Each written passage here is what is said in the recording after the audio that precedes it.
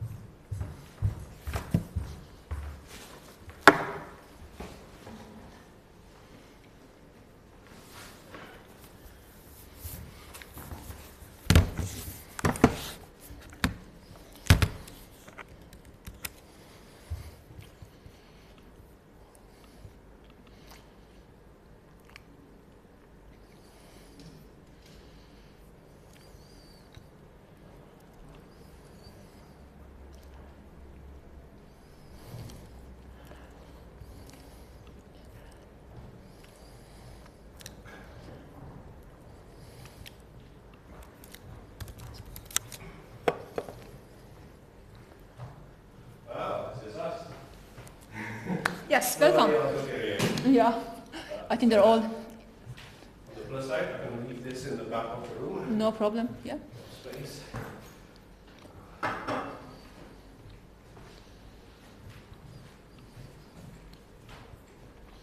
Ooh, nice view from here. It is actually. It's on top floor.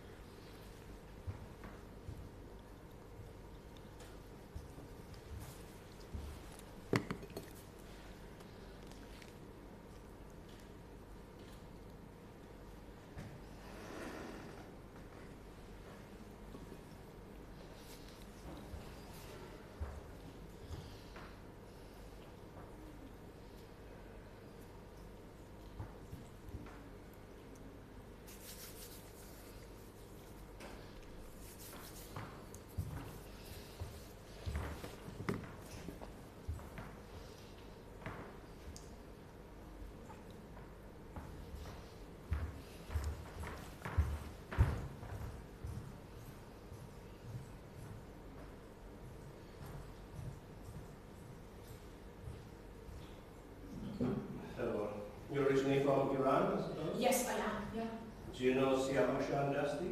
And who? Siama? Siama? Siama Kiaf? Uh, Siamante? Siana Yeah. Hayash. Hayash? I can't remember his middle name, but Shandasti. He was at Newcastle when I was at Europe. He's doing crypto stuff. mostly. Oh, is okay. So is he in university? Yeah. Okay. Yeah, he was, uh, So he, he's from Iran as well, although he did his education in uh, Australia. Ah, I see. Uh, He's a close friend. uh, and uh, yeah, so, so I thought, well, of course, not all Iranians will accept her. But, um, so you, how long have you been in? Uh, in the UK for 10 years. Okay. So I, I did my MC in uh, Greenwich, Uh-huh. and then uh, Northern Ireland for my Ah. PhD, and Uh-huh. then Scotland for my work. Northern Ireland is at Queens, so Uh, Ulster. Ulster. Okay. Ulster, Uh, Ulster, yeah. So I was everywhere. okay. So Well, settled down in Scotland. yeah. Well, that's uh, from southeast. Greenwich was in Medway, was it?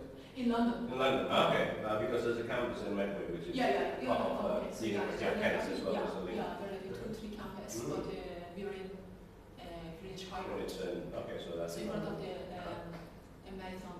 Ah, yes. So, Okay. so yeah, yeah, that's So you, so you moved from there to Ulster. Yes. And then from here. From there. here. so here. So how long have you been in here? And been here since 2016, but Okay. uh, yeah, I, I, I, was, I used to work in Aberdeen. Okay. So I, I went up Aberdeen first Ah. and then came here. Hello. Cool. That's early. I guess so. uh, I just happened to be here because apparently uh, I need to give a talk, which is rescheduled from the last to the first. So- The first speaker is not here yet. Uh, I think the first speaker is you. ah, well, yeah. the original first speaker is late. Yeah, the, the, the original one is So, late. which one are you? I'm, I'm number six on that list. Number six, yeah. Okay. So I don't know if uh, you prefer to come back later for that number one. Uh, oh, you're welcome to So, say. yeah, that's a bit of a dilemma. It's, it's like we have to leave. Hmm. I'll check. Mm. So you're.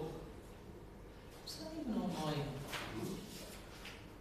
Oh, yeah, this is sort of tucked away out of the mainstream, isn't it? A lot of folk don't know. I'm. It's a bit hidden. Yeah, because it's all on this. This is the trouble. This yeah, is only on. didn't put it- yeah, It's not on I that don't know why they didn't put it here. Because it's on here. I've got a. Yeah, send an email to everybody. I've got a track that I downloaded. Yes. And it's Yeah. on there. Exactly. Yeah, It's one. this not the 100 hours. It's almost as if. Oh. It's They yeah. Uh, they squeeze it, I think, so they just, and they separated, they printed Yeah, separately. they could put on Yeah. Yeah, they yeah. We could put the sponsors on the next page, Yeah. okay. There's a lot of sponsors to put in there. So similar maybe to the start, what do you think? Well, there's nobody else yet. So maybe Anyway, send it to. Yeah. Yeah, you can have a personal presentation of, uh, what is it, I it up, but. Uh, okay, so. I really had made for. Yeah. Yeah, a little. So- Okay. Well, so you- Otherwise, you, uh, Well, there's another person that needs it. I have more people. Yes. you just overcrowded, That's already started. we just make it for others. It's not even two thirds. Well, actually, that one uh, is slow. That one was one thirty-two. That clock is slow. Yeah, oh, is it, okay, yeah. Okay, I will, I will stay then. Well, I hope you're not regretting it. But, uh, no refund. I'm interested.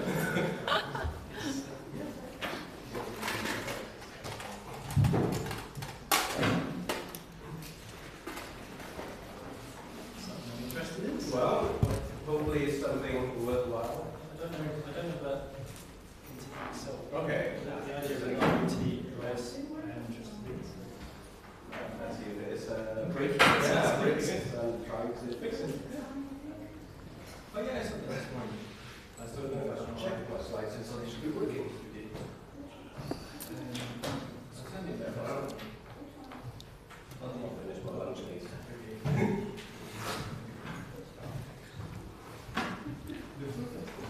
Hello, yes, See if the slides are. yes, the slide, I put it up, Okay. Okay. and I think they're just, yeah, I think uh, this one is working that as well. Yeah, hopefully, yeah, Okay. working. So that's the lights.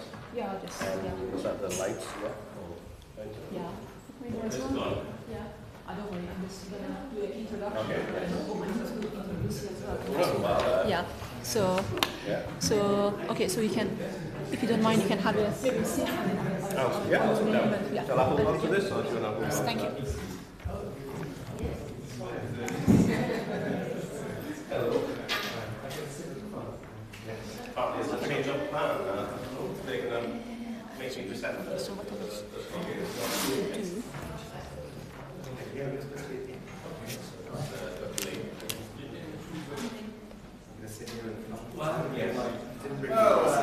see if you can find us once. I don't think everything knows to come up. Yeah, it's been hidden, so. Yeah, it's kind of. some people have- One, two, three, one, two, three. It's mute. You probably don't need that, will you? Uh, yeah, they're gonna stream it. Yeah. You have a cybersecurity revolution. One, two, three.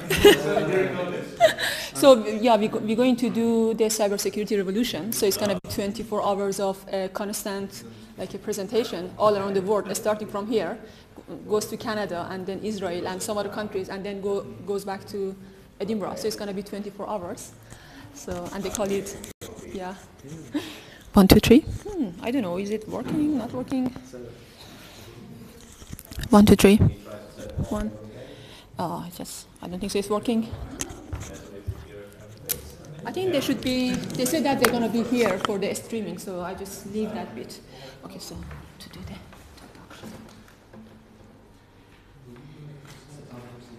Um, if, if they, actually, it's up to the organizer. I, I don't mind having the slides.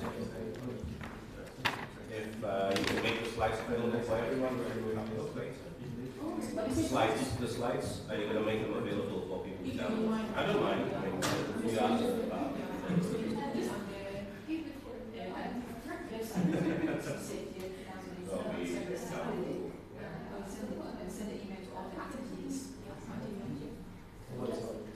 Sure. Yeah, that's, I was, I was taking pictures earlier for someone's talk.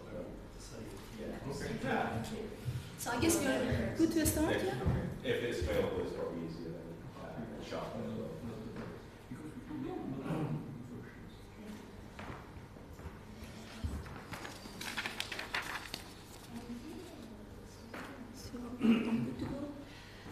hello everyone, and welcome to the first international conference on cybersecurity and digital forensics 2018. My name is Naghmeh Moradpoor.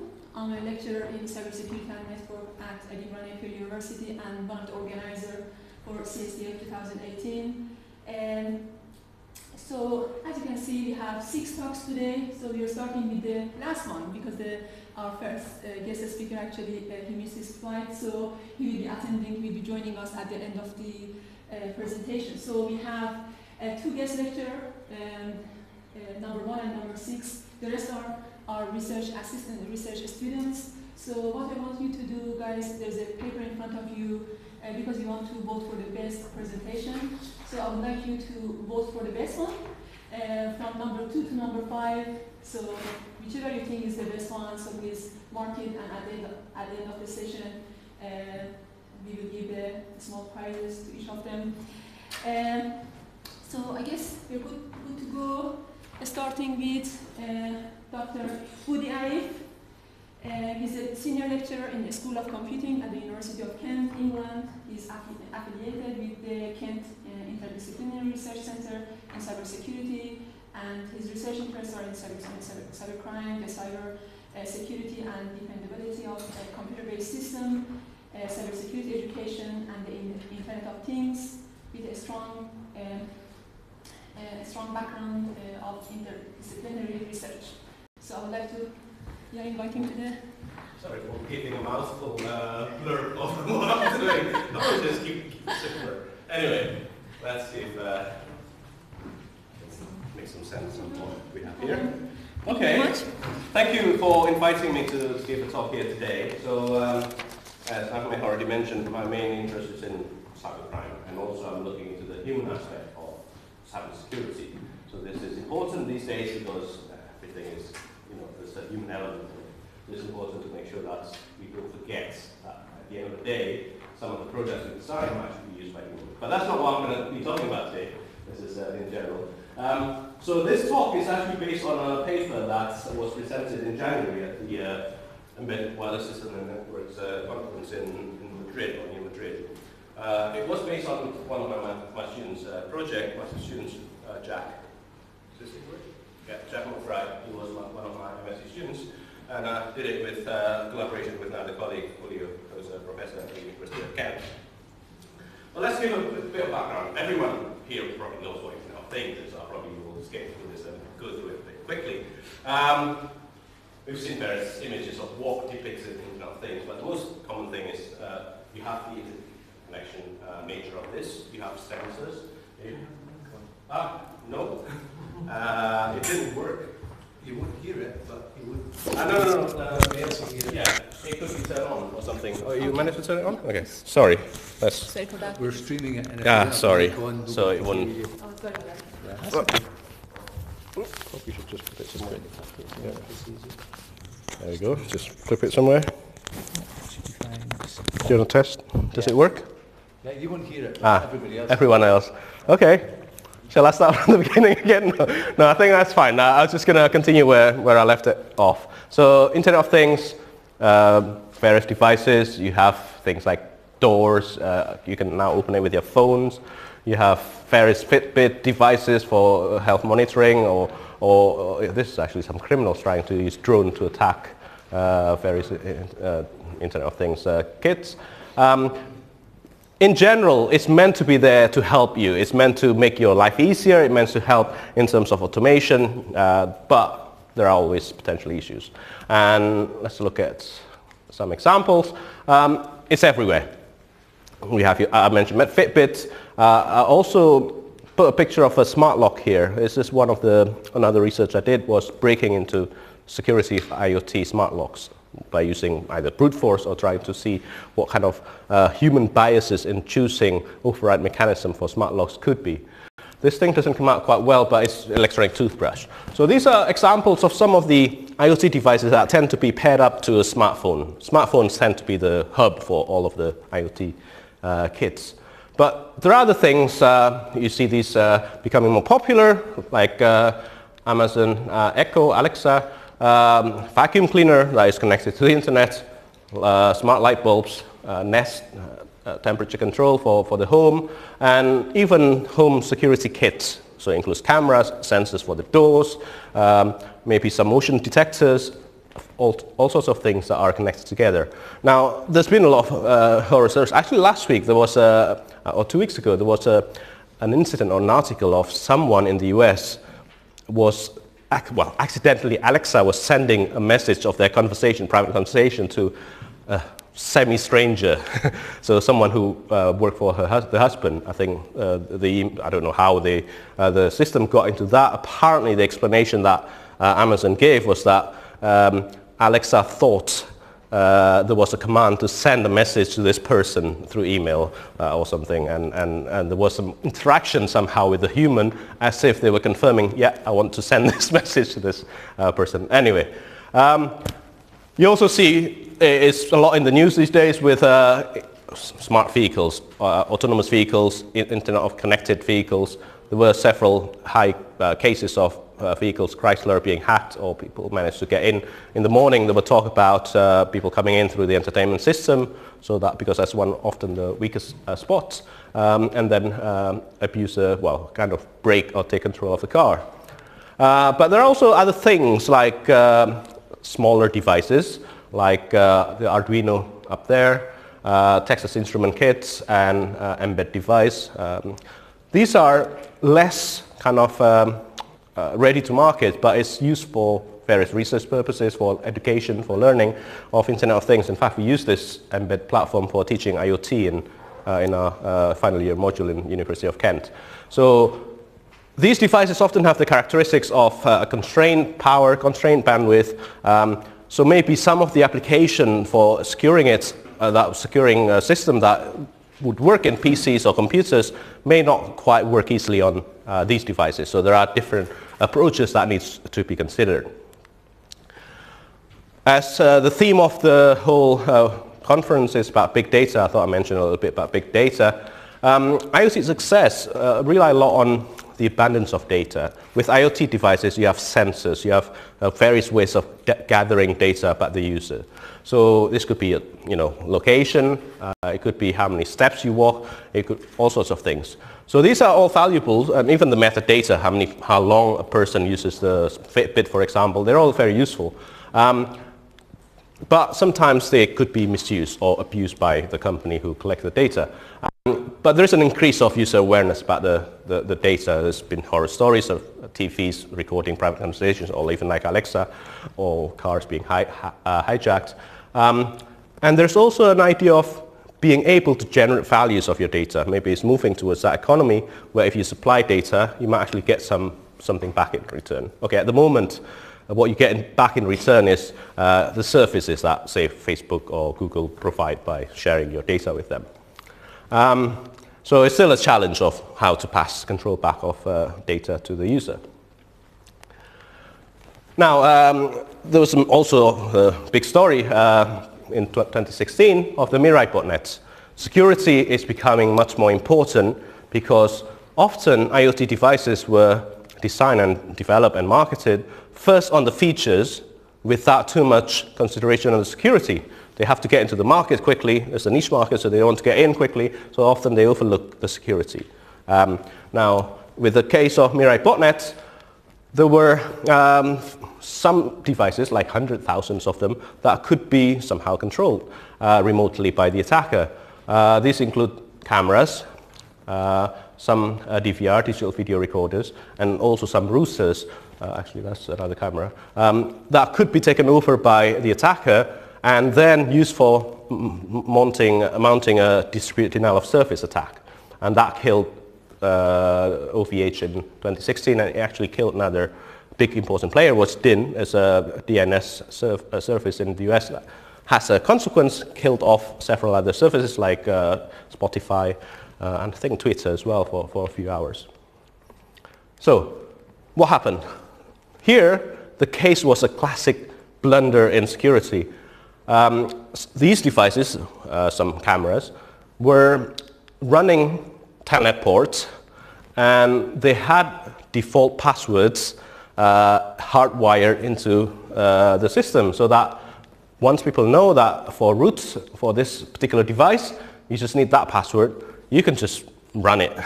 you can just get in remotely to, uh, to the targets and then control it. And um, once you do that, you can actually start looking or using this new army of uh, bots to spread. So by not securing your own device, you actually contribute to the insecurity of the whole system. So it's, it's very, very important to make sure that IoT devices are secure. Okay, so that's a, well, I'm, I'm sure I'm uh, preaching to the converted here. We, we know that security is important. Um, but how do we try to do this? What can we do? So let's have a look at the approach that we have. So this work uh, was based on a collaboration uh, between us at the University of Kent and uh, some colleagues at the University of Bristol. So we, we took a red-blue approach team. Um, we want to focus on the underlying uh, system, which is the operating system of IoT devices. There are many operating systems out there that could be used for IoT. The one in particular we use here is called Contiki. I'll talk a little bit more in the next uh, few slides. Uh, there are a few others like Riot, uh, Mbed, uh, uh, Google has their own as well. Um, so we took a red team approach, so Kent, uh, University of Kent, we, we want to use uh, static, we use static analysis tools to find bugs. There are in software engineering and uh, system uh, programming languages research, uh, static analysis tools are very valuable tools to find uh, potential vulnerabilities, bugs in the system. There's no way that you can get you know, perfect software all the time unless it's very, very simple. So that's why we try to find it using uh, static analysis. Uh, in the meantime, our colleagues in Bristol, actually one of them were part of the contributor to the Contiki operating system. So this means he, as part of the team, could uh, verify that the bugs we found. Um, actually, one of the challenges of the static analysis tools is that there are a lot of false positives. So uh, we cannot just trust everything actually broken because otherwise you'd be scared. You're not going to run anything because it will flag a lot of things that are being potentially uh, dangerous. But um, that's uh, not the case. So sometimes it's just a simple issue of like, oh, uh, if you're a developer, you can see, ah, okay, that's what it does. Okay, actually it's fine. So, so that's why we need to have someone with very much um, built-in um, knowledge of the system to actually verify this and then has the ability to, veri- uh, to fix it and check it back into the distribution.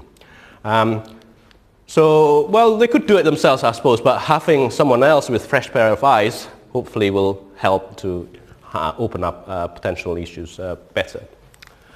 So, for the, so any, any question up to this point or comments, I'm happy to take any questions in the meantime if there's any. Um, okay, so the rest of the talk I'm going to look a bit more deeper into what we actually did in this. Uh, I'm not going to talk into too much detail. If you're interested, there's a paper out there, there's PDF that you can download as well, so there's more, more in there. And if you're interested even more of the source code and all sorts of things that my student did, but I'm, I'm sure he would be fine to share some of it uh, if you, want to learn more. Okay? So what is Contiki? Contiki is uh, an open source um, operating system that was used for uh, as constraint devices. Uh, so the, uh, these are mostly on uh, platforms like uh, Texas Instruments, uh, the one I showed earlier, um, or um, it could actually be used for other consumer produ- product, products these days, like in LIFX, the light bulb, the smart light bulb, and I think there's a Thingsquare product that's using that as well. So it's uh, very constrained. There's not a lot of power in there. There's uh, bandwidth uh, for net- network is pretty uh, limited as well, um, and slow power. Uh, it, it abuses some proto- proto-thread programming model, which means that uh, you can do multi-threading and you can use uh, event, event-driven programming. And it's got support for various platforms. Um, a bit of timeline. It started in 2001 uh, with Adam Dunkels um, in, six, in, I think in Sweden, Stockholm, developed this uh, open source plat- platform stack for embedded devices. And from there, it moved on to a bit more um, uh, platforms, various uh, uh, uh, Commodore 64, NES, etc. Um, and it snowballed. It got a lot more interest and uh, various improvement. There's various um, uh, people contributing because it made, it's made open source, so various people can contribute and take parts in development.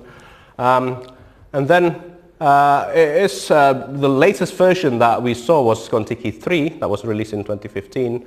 Um, added more support for various platforms.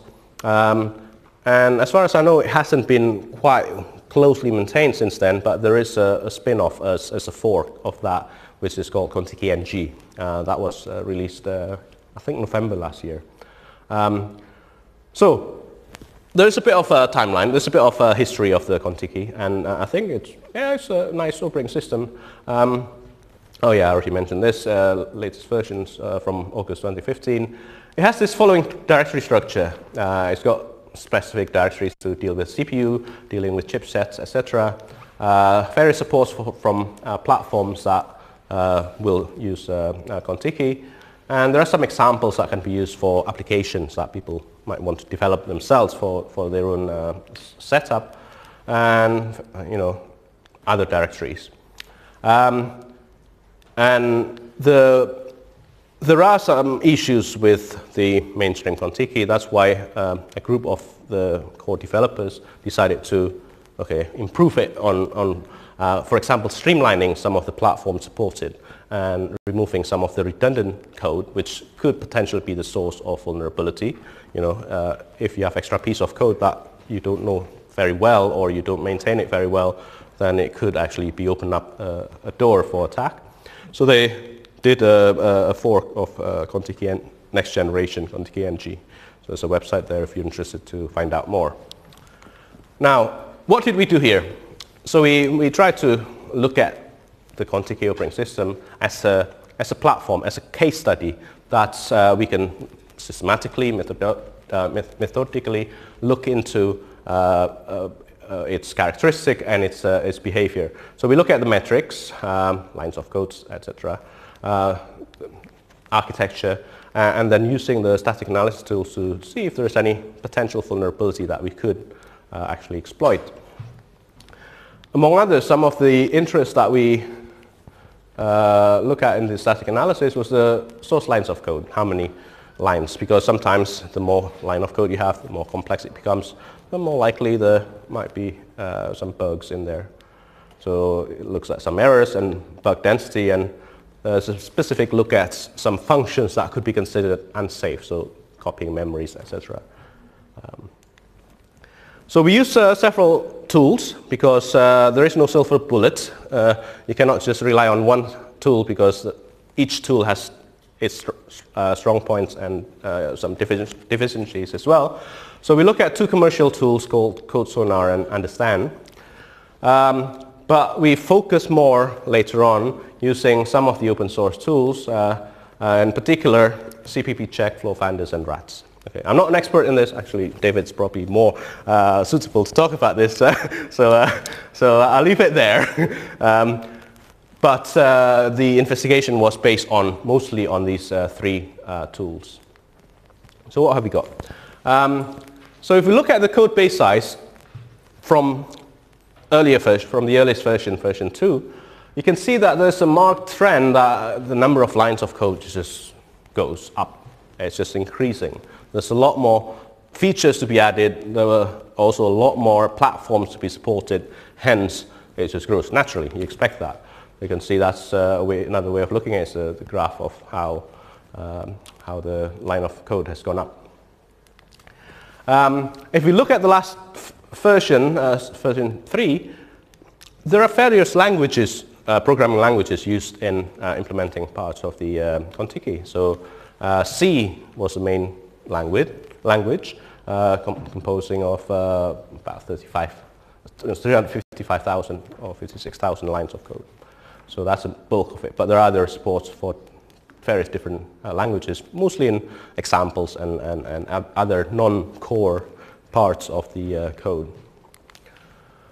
Um, if we look at the number of errors detected um, using three tools, uh, Flawfinder, RAT, and CPP Check, um, you can see that there's also, because there's more line of code, there's also increase of number of errors there. Well, naturally, you, you kind of expect that. It's, it's uh, the more space to, to, to, explore and the more potential errors there.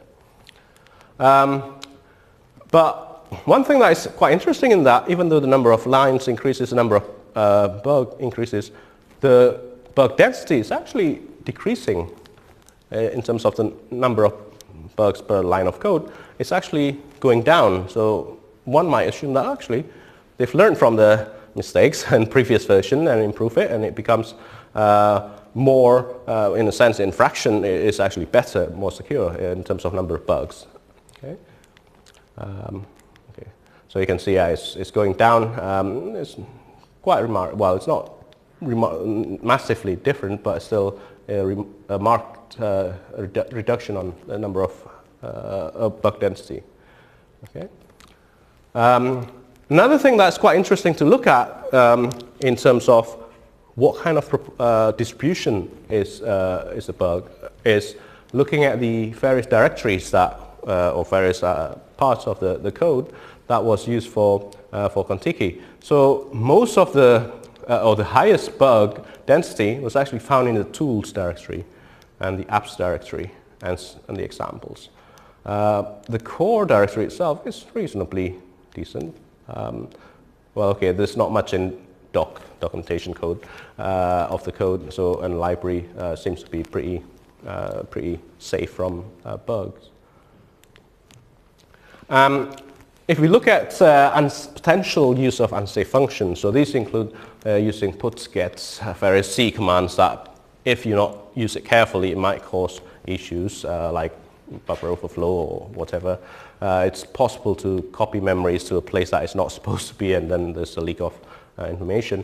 Um, there were some of the interesting ones, for example, memory copy here is it's, uh, it seems to be quite a lot of usage of them.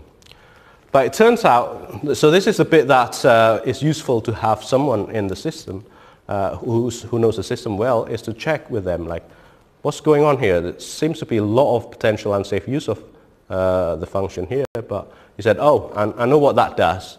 it actually is fine. So they, they actually look into it, yeah, that's, that's actually not causing any issue.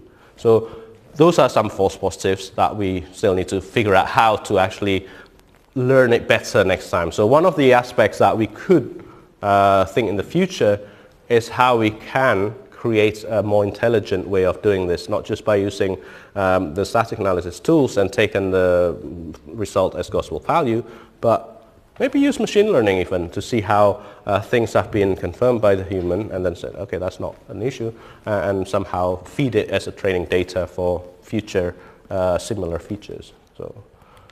Um, Anyway, so yeah, it, it seems like uh, there's a lot more unsafe functions, but some of them turn out to be fine, harmless. Um, nevertheless, as part of the uh, investigation, we, we managed to find two CVE, uh, common vulnerability expo exposure, and we disclose them. Um, so some of them are pretty simple. This one is uh, uh where is it? Issued, uh, and it's using uh, an element on ACCPT, the daemon for the web, for a particular platform. So the impact may be not as massive, but nevertheless, there is still uh, an issue that needs to be looked at. Okay. Um, and there's another one, I think, on MQ um, using some potential cross-scripting scripts uh, cross-scripting vulnerability using uh, Mosquitto MQTT uh, uh, protocol uh, for, uh, for that. Um, if I remember correctly, there might actually be a video to show how it, it was possible to actually do the, uh, uh, uh, I think it's a kind of injection, script injection in, in this um, code, in this platform. So what happened was um, they didn't sanitize or they didn't check carefully what is entered in the input. So it's possible to add some trailing commands, in this case in JavaScript, if I remember correctly, so that you could actually run something else that you're not supposed to, to run. Um, let's see if it does play. Uh, it's probably a bit small print, uh, small uh, screen as well, but we'll let's see if it shows something. Yeah. So, so the student here entered, has gone too quick. Uh, how do I pause this? Can't even pause it. So the bit here, there's a, an addition trailing after the value that you need to enter on the form with some JavaScript just to alert one. So basically pop up with a one uh, in the window. Um, in a sense, you could well, potentially do other commands. Uh, so if you run it again, uh, by entering that as part of field that you need to uh, enter, um, you can actually, ah, that doesn't come up very well. So basically here, it was a pop-up saying that the, uh, yeah, so the alert of one actually pop up on the, on the browser. So it's, it's a, yeah, it's a simple enough uh, script to do, but uh, nevertheless, it has to be looked at. And using the approach we did, we somehow managed to, to find that. Okay, um, so it's just a bit of a taste, uh, taster of what uh, things we, we did on that. Um, just to summarize, what we did was to, to use several static analysis tools to find some potential issues, some potential vulnerabilities that might uh, exist within Contiki uh, operating system for IoT. Uh, we managed to discover uh, two vulnerabilities that were identified as CVEs. They've been fetched, so we, we let them know. Uh, the, it's lucky to, well, it's nice to have a, a developer on, on the platform linked to us closely so that they could actually act on it very quickly to fix it. So that's been patched. Um, in a sense, this was a pilot study. We, we did it as a part of a small grant from a certain funding agency that shall remain nameless. Um, and um, we, we used to see if the red-blue approach could actually be useful. I think there's some use in that. It's not quite perfect. We have to augment it with other approaches, obviously, but it still it has some value that could uh, contribute to that. Um, so where do we go from here? So there are several things that we want to move on to, um, including investigating other IoT uh, operating, uh, operating, systems. It's not just Contiki, there are a few others out there. Um, but another thing that we want to uh, develop is a more uh, methodical framework for examining uh, the security of IoT software in general. This is ranging from operating system up um, and applying various other techniques, including machine learning, how to, uh, for example, uh, be able to learn better and make it more uh, effective in terms of alerting where the potential bugs are or issues are. Um, to all sorts of things like protection, what kind of IoT protection can actually be uh, developed because of the constraints that IoT devices have. We cannot just translate everything that we have on uh, normal or computer platform, uh, for example, intrusion detection system or, um, uh, or antivirus, that kind of thing will probably not run as if, or encryption will not be running as efficiently on IoT devices, but instead, where can we find a sweet spot so that we can have something that is uh, functional on, on IoT devices yet delivers uh, secure, more secure um, platform? Um, oh, well, I'll just end up with that. So where do we go from there? Well, uh, another piece of research that I'm doing is actually ransomware. So the talk mor- the, this morning from Trend Micro about ransomware increase is WannaCry and the insight from there. It's very fascinating and I actually enjoyed that and I agree with uh, what he, he was talking about. Um, but with IoT becoming more prevalent in our life, there's a possibility that you could have ransomed IoT devices.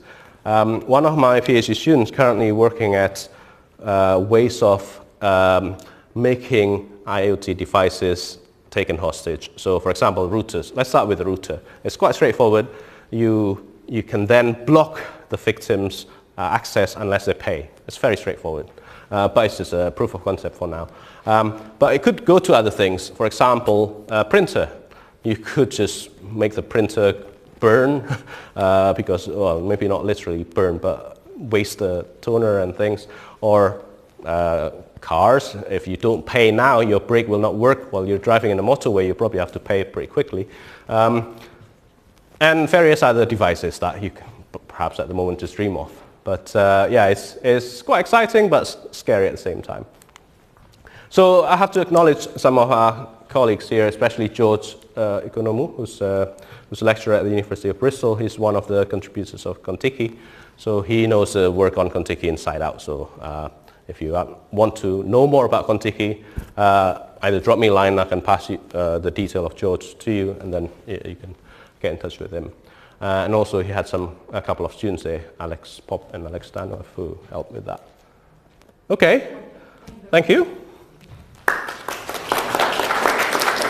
Any questions? We move. If you have any questions, David. Um, yeah, I really like work and uh, Oh, the thank red, you. red blue team approach sounds fun. Did you think about, so I guess the two CVEs that you reported, Mhm. you, um, the, uh, the person who found the problems then had to generate the exploits manually. Yes. Did you look at um, Automating it. To, yeah.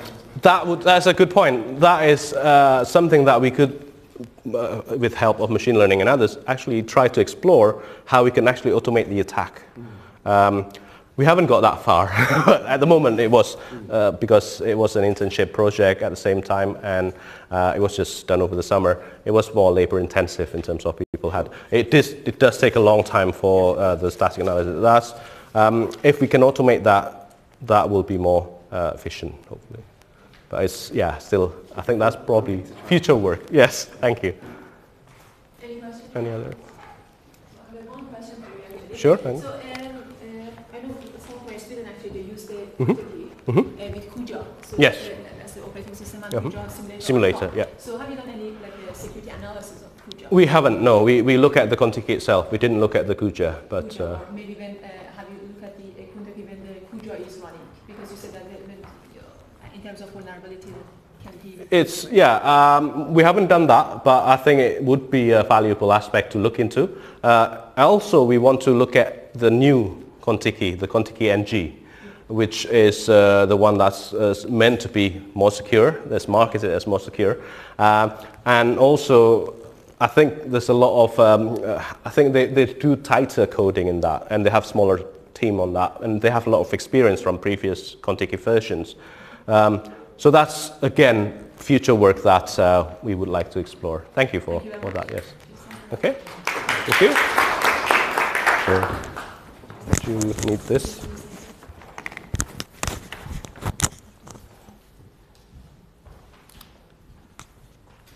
Okay, so I'll leave it here. Thank you.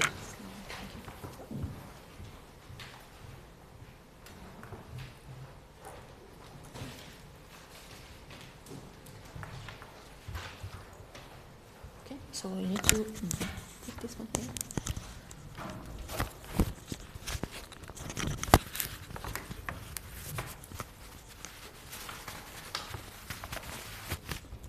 So do you want me to like uh, use the microphone to introduce you? And then give you mic- microphone to you, yes?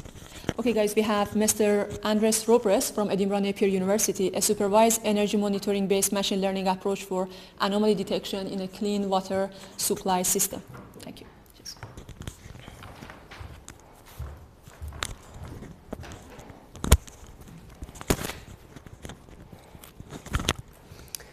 Hello, good afternoon everyone.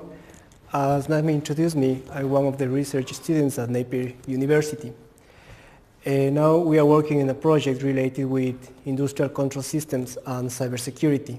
So I'm delighted to present one of the outputs of this research, which englobes a, a supervised uh, machine learning approach uh, monitoring the energy consumption of devices from the industrial control system. So we will talk about a little bit of introduction, just to have a little bit of knowledge about industrial control systems, the literature review, uh, the proposed research, the practical work conducted so far, the findings, and conclusions and future work. So industrial control systems. Industrial control systems are everywhere. We could find in industries like transportation, uh, oil, uh, even automotive. Some of the newest cars have some components that work with control system. We can have even an, in nuclear power plants and all of these industries. At the beginning, back in the days, the industrial control systems were not supposed to be connected to any network. So they were created with no security in mind because they were supposed to be isolated systems. But now, with the development of the technology, these devices now face the internet.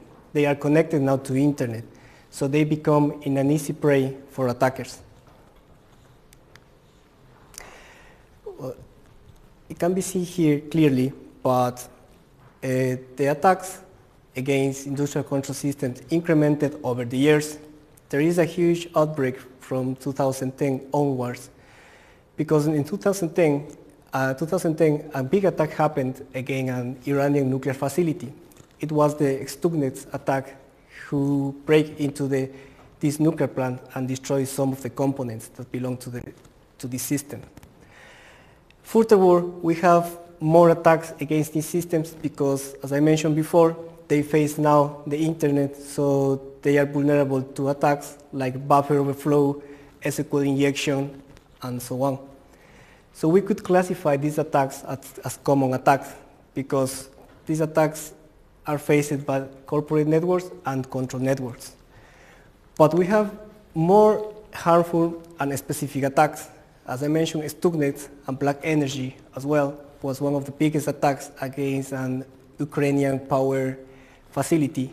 During the winter, the, attack, the attackers choose destroy, not destroy, but they disrupt into this power plant and they disconnected. So a lot of families were without electricity during the winter for six hours.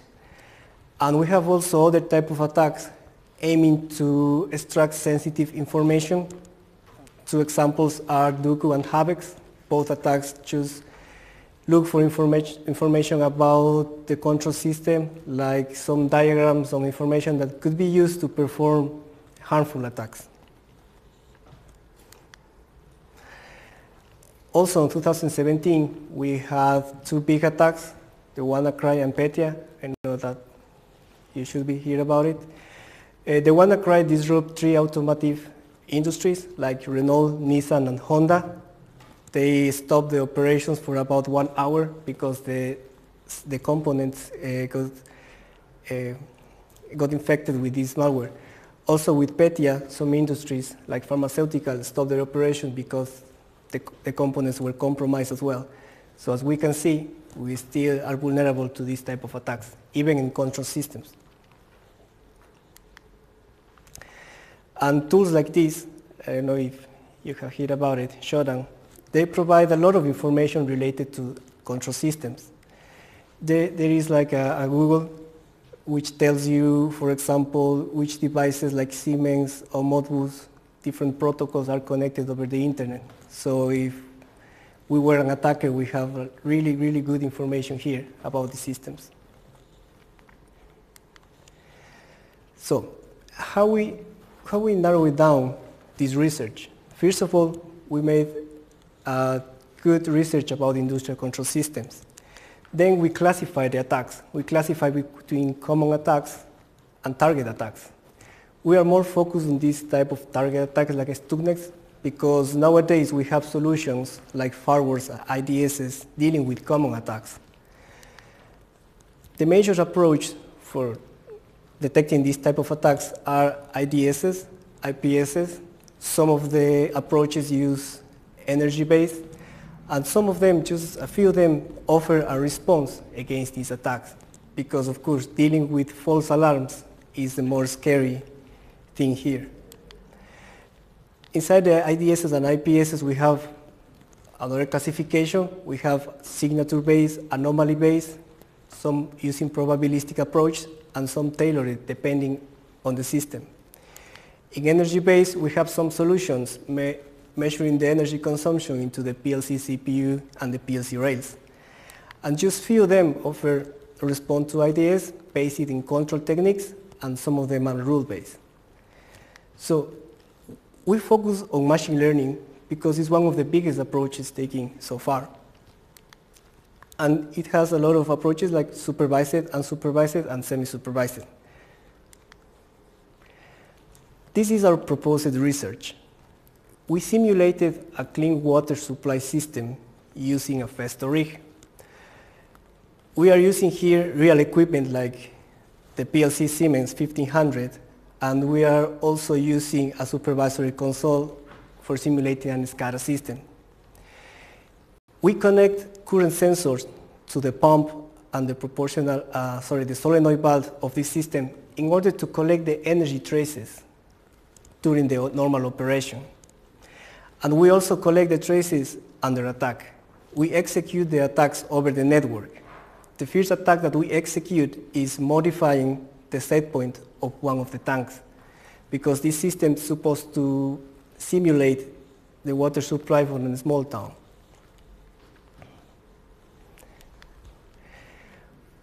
Here you have the findings regarding the energy consumption of the devices.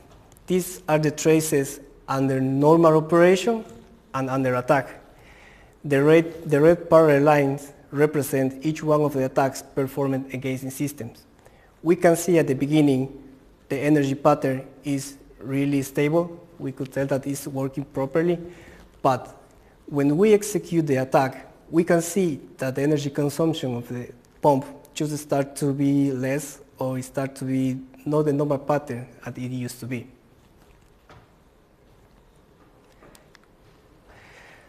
Out of this, we collect the information from the sensors. The sensors offer four features. So we have four features for each sensor. We connect two sensors, so we have eight features. We use the supervised machine learning, so we have to manipulate the data. The data. We have to apply some techniques like normalization, just to, for each one of the algorithms. And we divide the data between training data and testing data.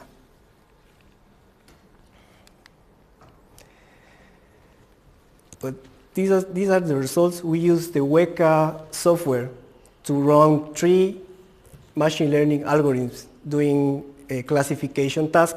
We evaluate in order the accuracy, precision, and recall. Here we are using the accuracy to test each one of the algorithms. And also we use the F-measure feature, which is a weighted, uh, is a weighted balance between the precision and the recall. We are using statistical significance to evaluate each one of the algorithms. Normally the statistical significance tells that if you have a difference of 5% between each algorithm, you can tell that one is better than other. But this value could vary depending on the system. So as this is a critical system, we reduce that statistical significance to 3%. This is a summary of the findings. We found out that random forests perform the best over the other algorithms. Of course, we play with each one of the features of the algorithms. For example, in KNN, we play with the K value and SVM with the, each one of the kernels, and in random forest, we play with each one of the leaves. Uh, regarding to time taking to build the model, we can see that SVM takes a lot more than each one of the other algorithms, and it doesn't perform good compared with the other algorithms. Uh, whereas KNN is the one that performed the best regarding to time. Well, as a conclusion, uh, we developed an SCADA system. Our research is different than the ones now in the academia because we are using actually real devices. We are not simulating any data. We are collecting the data from real devices, so that's why we are building the model based on this data, which made this research different than others. Uh, the results also show that it is possible to detect attacks using the energy consumption approach and using machine learning to classify the data. Uh, the results also show us that random forests perform better than the other algorithms with shorter and large datasets. For future work, we would like to implement this concept in a more realistic environment. That's why we plan to improve our testbed, make it more realistic to a real water supply system. Even we are thinking in implementing the water treatment process, if possible, and collect more data. We, we saw that the more data, the better performance of the algorithm, so we plan to wire more current sensors into these systems. And we also are, are planning to explore into unsupervised machine learning approach in order to compare both of them. Thank you. Any questions?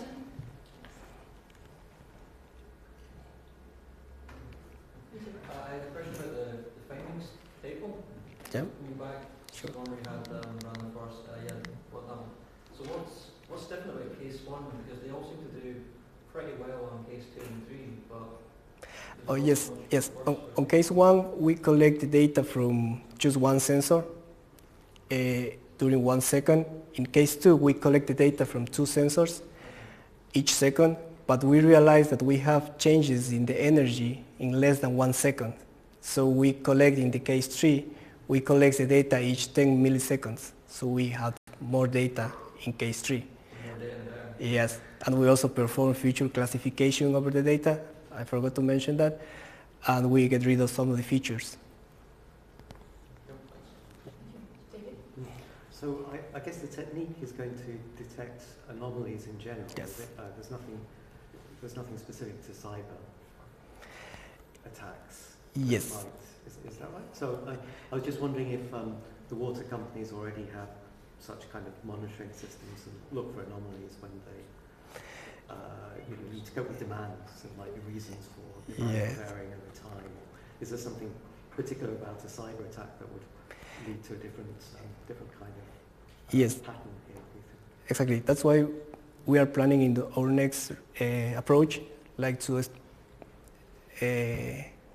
more specific attacks, not just changing the water uh, set point, more specific demands, and see how the system behaves regarding to type of attacks, and see if we could use machine learning to even classify the type of attack and realize where really is happening the attack, if it's happening if one sensor, if it's happening in the, in the pump or in any device of the, of the system.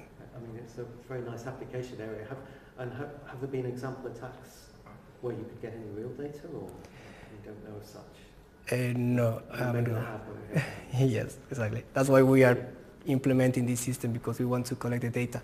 But the difference is that we are not looking into the network traffic. Understand. We are getting the data from directly from the endpoints because we cannot rely on the information that the PLC provides us because it has been proved that the PLC could be hacked and could provide different information.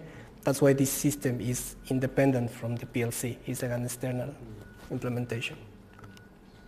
Because of that, you'd spot other kinds of anomalies as well, so it might be Yes. manufacturing failure. Exactly. like Yeah, it could be a sensor failure, for example. Yes. Just out of curiosity, why you pick water system instead of, say, power?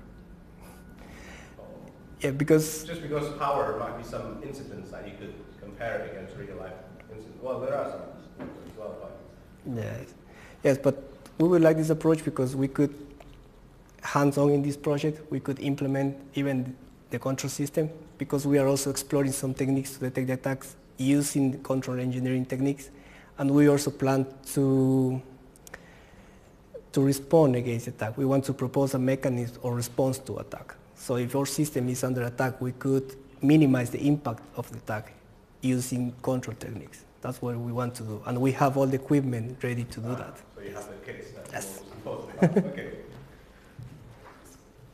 Um, how much data did you have, or did you feed your algorithms?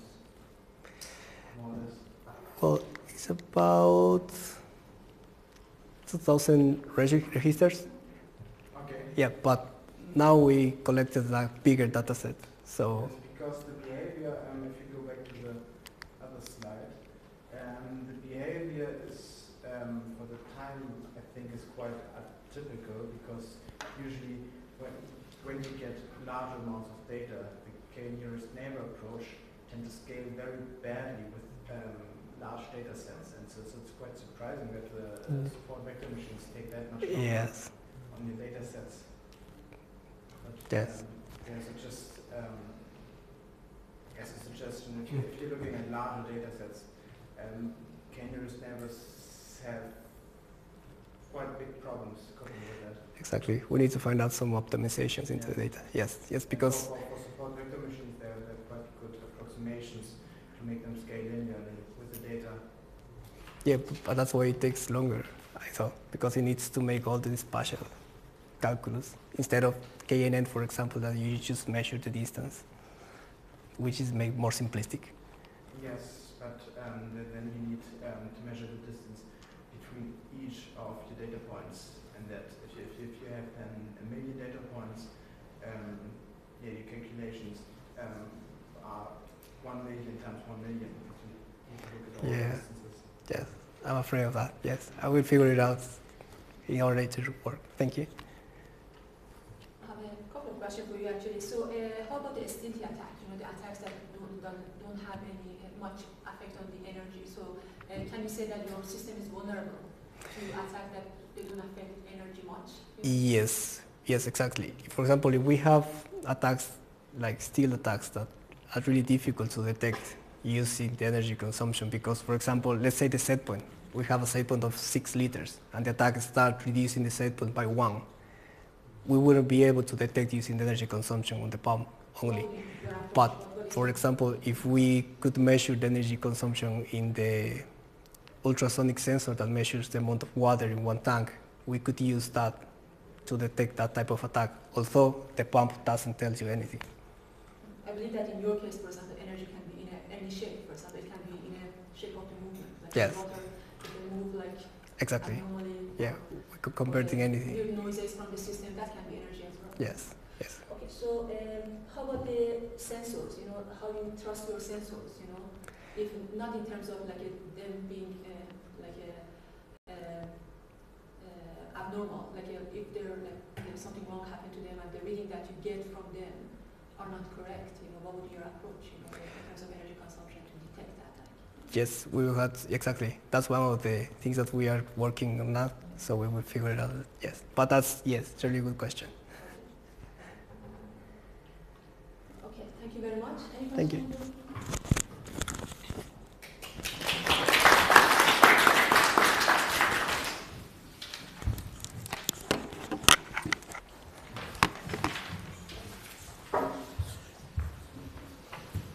Jean, merci.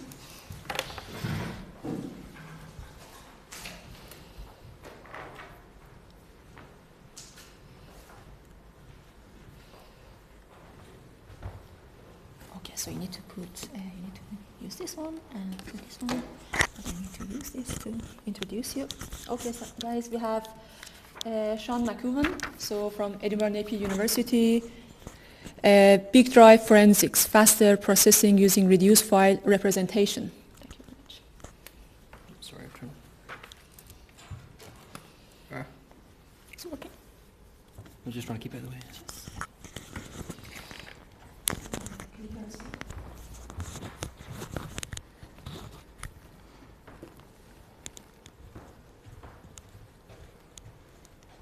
Very good.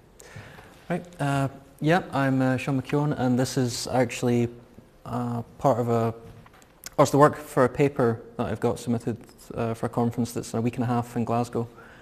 So um, this is a nice sort of warm up for that as well. So uh, I'm dealing with the problem of uh, detecting contraband, which tends to be something the police do about 80% of the time, at least the digital forensics investigators do. And basically, the way this is done uh, as part of an investigation is that a cryptographic hash will be applied to every file on the device. So we've got an image over here. It could easily be a, a video or some other file type. Pass it through some hash function. That could be SHA-1, MD5. I've picked SHA-256 just because it's the, the smallest one that isn't broken currently. And you get a, a nice string, a hexadecimal string that says, okay, we've, we've got some identifier for this document. And these uh, are really difficult to map back, so you can't generate an image that would generate this very easily. That's the entire point. So you then have a database of, say, 5 million images, which is roughly what Police Scotland have, and you're processing your device.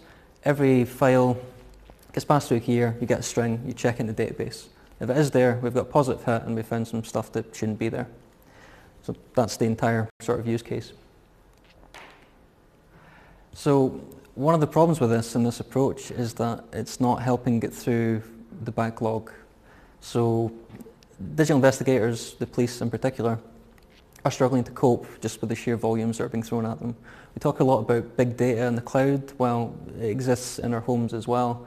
There's a growing number of devices per investigation. So if you think about 20 years ago, people might have had one PC in the house. That would be it. Today, in my household alone, we've got only two people living there. I've got um, probably two phones just to myself. Girlfriend's got one. There's a laptop, my laptop, PC, server, PlayStation, televisions. The number of devices has just inflated massively, as the capacities have as well. So drives, when forensics tools were being built, would be gigabytes, tens of gigabytes at best. Now we're talking multiple terabytes for a single disk. And this has resulted in up to 18 months of a backlog in Britain. That, that was 2015, so I imagine it's only worse now. And um, as of a paper published last year, uh, claiming four years in Ireland, which is pretty terrible. And the main issue with it is this, this bottleneck of trying to get the data off of the device. So think about this as being a four terabyte disk. The fastest we can get that off of there is about 133 megabytes a second, give or take, depending on the actual disk. Now that can take a very long time. In fact, 8.2 years if you work it out based on that. But if you're using a, a dedicated forensics tool, you're probably looking at another 20, 30% time on top of that as well. So existing solutions in the literature really talk about what's called triage. So we're trying to cut down on what we have to process or at least prioritize it. So we've got a bunch of stuff um, from a warehouse or uh, a particular location and we were thinking, okay, is there anything of value here? So we can triage each device, have a quick look at it and say, okay, we should look at this one or this one's probably okay, we can put that at the back of the pile. And one way to do this is to look back at this um, data trickle, as it were, and just process things as fast as this comes out. And that's achieved with lots of processing, essentially. Um, quite powerful processors, um, multiple thereof, in some kind of workstation or server configuration. And you can also do things like at the bottom here with Garfinkel paper, uh, parse out GPS logs and emails and sort of get a little snippet of what's going on up front to make a decision quickly. But again, you're still limited by that data trickle. The other general approach is to say, okay, we've got four terabytes potentially, but we don't need to look at all of that. Maybe if we just looked at a few gigabytes or tens of gigabytes or even hundreds of gigabytes, that'd be much better. So s- it's about sampling the data on the device and seeing if we can determine anything from that. So one way is statistical block-based sampling. So we'll take you know, a sample of tens of thousands, hundreds of thousands of blocks on a device and hash each one of those blocks rather than whole files. And if any one of those blocks matches our database, then okay, we should take a, a good look at it. And the other method is to look at the file system. So you've got your NTFS partition, you can look at the metadata and say, okay, uh, based on historical records, uh, we've got this profile for what this kind of case looks like. And they've actually created them for different use cases like embezzlement, but I'm still talking about contraband detection. So we'll say, okay, we'll look in this directory, in this directory, in this directory, and that'll do. That'll give us a decent idea. So we were taking a slightly different approach, but still along the veins of, uh, in, in the similar vein in data reduction. So as I said, the typical approach is to hash every file and all of the file. But one way of reducing the data we have to actually get off the device is to say, okay, but we're only really looking for a unique signature. So maybe we don't need to read the whole file, maybe we can just get away with reading the end of the file. And I think it works out roughly 1 to 3% even on relatively small files. So you're only needing about 1 3% of the file. So you're reducing what you actually need to get off of the disk, what you're passing along the bus. And um, that n value at the end here, uh, we actually worked out is about 4K, but I'll, I'll talk about that in a second. And it was tested for two data sets. Flickr 1 million, which is actually a media retrieval data set. It was just handy to have, of quite small JPEGs, only about 124 KB on the mean. And the GovDocs data set converted to PNG just to give slightly bigger file sizes. And that was, I think they were about 1.4 megabytes, and it's only about 100,000 images.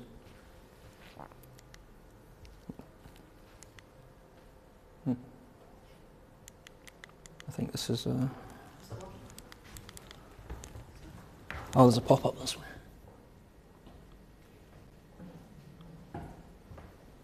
Yeah, the window lost focus. There we go. Right. Right, so uh, the main thing about a signature is that it's unique. There's no point in having something that points at uh, a file and says, oh, one in 10,000 of the time there's a false positive because we're dealing with scale here. Because the whole point is that this are too big or there's too much data in the first place. So I can't even see it very well, but uh, basically reading from the start of the file. So if you take the first 4K, it works out as 97% unique on the JPEG dataset and 99 point something percent, which sounds okay, but when you're dealing with a million images, that means about 30,000 false positives, which is pretty bad.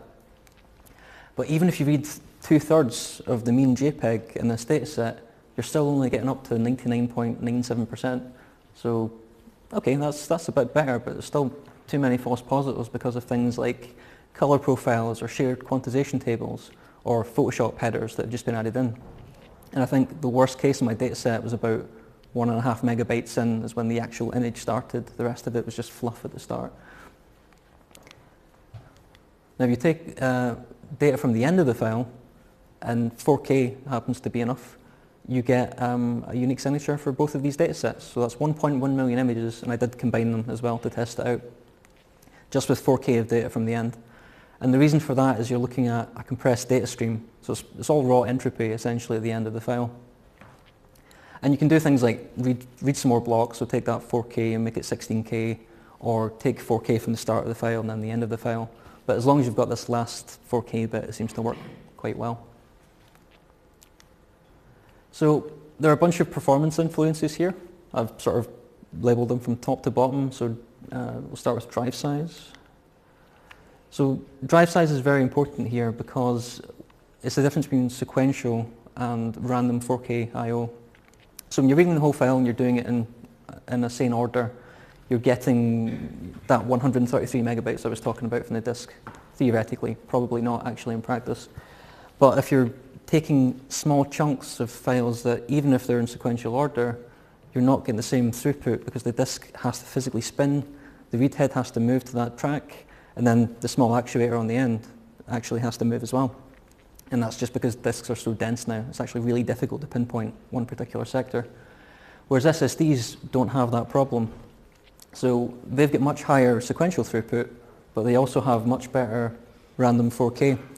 And the, the red number at the top, you can't see it because of the, the image now, but that's at 32 threads, and blue is single threaded.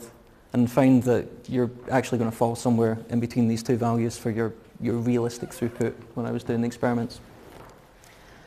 But yeah, long story short, SSDs are much better at this kind of, um, this kind of data access. Uh, another really important thing is file size.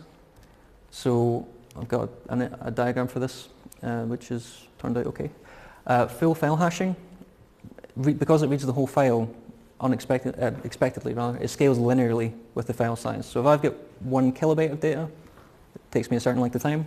If I've got 10 megabytes, it takes me a proportional amount of time because I have to read the whole thing. However, if you're just taking that last 4K, we don't care about how long the file is. It could be 100 megabytes, it could be a gigabyte. We only want that first 4K. So the time it takes doesn't scale with file size at all. And what that essentially means is the bigger the file, the bigger the differences in performance for these two approaches. So you can see a big massive gulf over here. Next down, file system was quite important in our experiments as well. And to understand this, I really have to frame it in terms of costs. So sequential reading is a certain cost, finding the block on the disk in the first place is a certain cost, and then actually extracting that and sending it across the data bus, whatever it is, SATA, M- the M2, PCI Express bus. But file systems also have a cost. We don't really tend to think about them unless we're really um, entrenched in performance metrics. But it turns out that E ext4 is just much better at this kind of access. And in fact, it was better sequentially as well. It just seems better overall. Um, but when you're looking up a file, if I say, okay, I've got some directory, I want this file, I have to say, okay, uh, let's look at the metadata, find out where these blocks are, or even find the first block and then traverse the whole list of blocks to find the last one, and actually send that request to the, the disk to spin and find it, and then, okay, we'll think about the next one. Uh, you can alleviate some of this by pre-processing and looking at the metadata up front and just creating a list of blocks at the start so we don't actually have to interact with the file system thereafter. And in that case, you actually get slightly better than E ext4 performance. So E ext4 is actually really good, highly recommended. Not that you can actually impact this, so your device just might have to be NTF, NTFS. But it was just to explore the different behavioral characteristics of the technique. And at the end, uh, number of threads. So for the experimental data, we tried more than one thread on a hard drive. Doesn't very, work very well. The idea being that you want to spin in one nice rotation through the entire disk, through all the sectors. As soon as you start giving jumbled requests, you'll jump to this part of the spiral and then over here and then back, and it just it, it messes up, and I don't think the disk queue works very well. Whereas an SSD can do it all in parallel. So I can say, oh, I want uh, block 42 and 76 and a billion. And it doesn't care where they are because of the way it sequentially accesses everything. And in fact, the more NAND flash you have on an SSD, generally the higher performance because it can do more things in parallel with more pieces of flash. So again, I come back into NT, NTFS as well because that seems to top out about eight threads. It hits some kind of plateau. Whereas E ext4, again, pretty good, scales really well with the number of threads. So we can throw loads of requests at the device, um, which again benefits more for an SSD. Is everyone following this so far? Yeah. Okay. Right. So uh, yeah, it's not turned out very well. Basically, we had um, big data set of one million small images on the left, 100,000 uh, larger images on the right. Uh, the techniques and their different sizes. So I said like first and last, and you can read last you can read last 4K, but also last 12K, last 16K. Uh, different file system and drive setups. So NTFS, ext4 with a hard drive and SSD, but we only did NTFS for the hard drive here. And uh, first thing to note, small files don't work out very well on hard disks, unsurprisingly, because there's, there's too much overhead, as it were. But when you get to about half a megabyte on average, you get two to three times performance increase for um, last 4K, which is pretty good. It's promising, and you can you can expect that images the police would be after would be maybe several megabytes, decent resolution. So this is quite good. What's even better is what happens when you look at uh, SSDs. So I've included the first 4K here because that is the fastest possible um, subfile approach because it's block aligned with the, the sectors or the pages on the disk and it's at the start of the file. So that's the first listed, uh, the first numbered blocks you get to in the, in the metadata. And I don't know if you can see very well, but 3.4 here, 3.1, 25.7, 23.8. So it's quite close. If you're looking at the end of the file, you don't actually lose much performance than if you were looking at the start of the file. So again, pretty good. Uh, again, if you read slightly more data, it doesn't have a massive impact either. Going from 4K to 12K is only reducing it from say 23 to 17 or 70 to 53. So there is a penalty for reading a bit more data, but it's not too harsh. And the worst performing technique was looking at the start of the file and the end because you're jumping about. Yeah, sorry, I'll just get the last. And the final part is this technique was viable for all of the different approaches, but mainly last 4K and specifically on SSDs, where on uh, even small, you know, 114 kilobyte images on average, it's still getting up to about seven times faster and on half megabyte images it was about 70 times faster, so it's obviously much better. And, oh, yeah, uh, I'll ignore that one. So, uh, the signatures are unique, they're particularly good on SSDs, still worthwhile on hard drives when they're not tiny images. Uh, we're thinking about the total cost of the transaction, whatever they might happen to include, so uh, file system, actual drive, time it takes to actually physically do things. And this kind of approach lays the foundation for forensics that is based on non-mechanical media because we're, we're too entrenched in hard drive forensics now. We need to start thinking about how to optimize forensics for other types of media. And that was it. Any questions? Um, so I don't know much about forensics, but um, is it is it the case that sometimes it's done on uh, images rather than the original hard drive? Yeah, but you're still going through the same uh, the same process. So you might image it separately and then import it in a, a tool afterwards. Yeah, I see. So, but then one outcome of your research might be that you're suggesting new techniques for imaging. You know, take the image on Yeah. SSD and uh, just just look at the, Well, that's. the 4 kilobyte sections that you want. I- I think they actually do do that. uh-huh. So most of the time, if they've done the, the thing completely separately and they've just got a separate drive with an image on it, um, I've heard, I've seen rigs where they've got it set up with an, a RAID SSD of several terabyte SS, SSD space and you just dump it on there, Right. and that makes it much better. But. Yeah, but. I think they're doing that anyway a lot of the time. Whereas you could do this on a live system and uh, in conjunction with the selective parts I was talking about at the start, where you could say, okay, we've parsed the, the file system and we found a couple of directories that look of interest. Mm. Let's do this technique on those.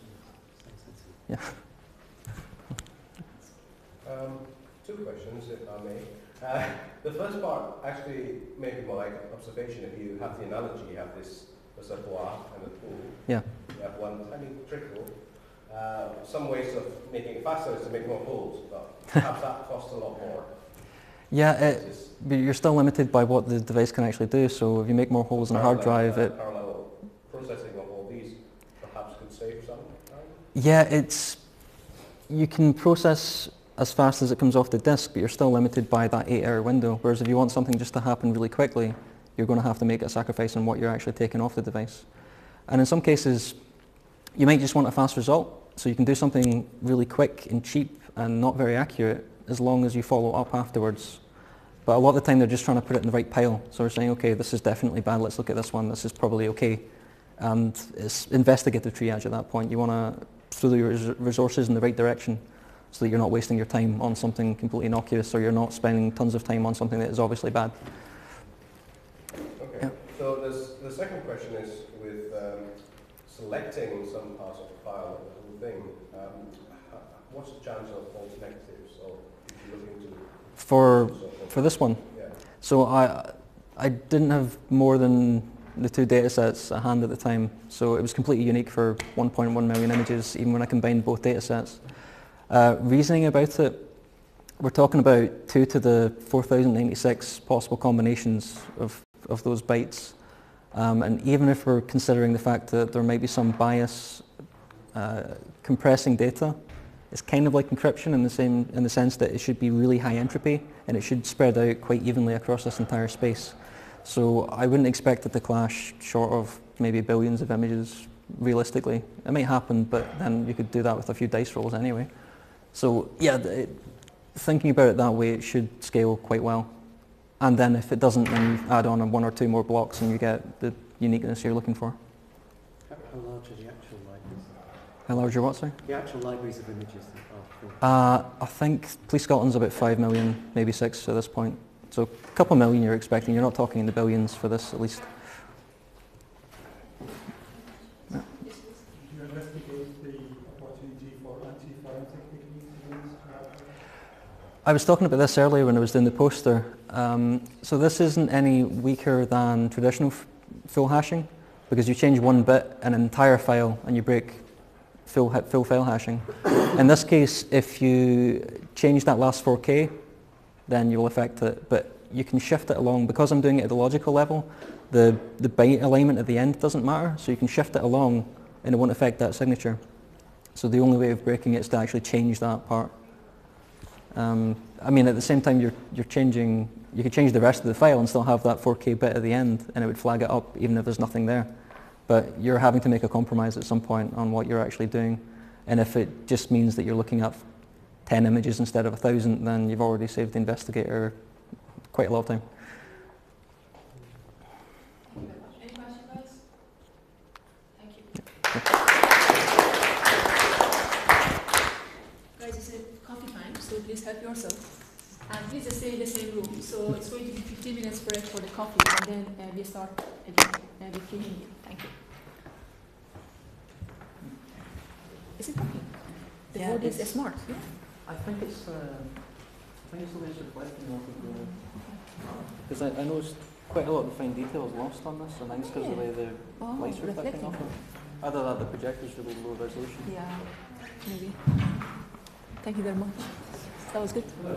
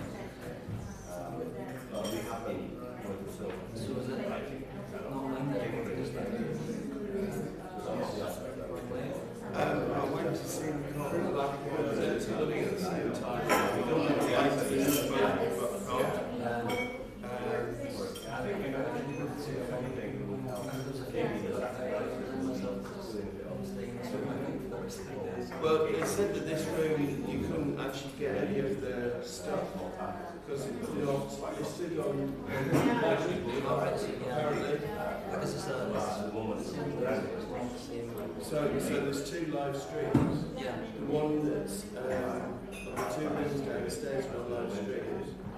Asked about whether it was like recorded, it wasn't done. So I think we get someone to, um, see what Either be, you know, Hello there.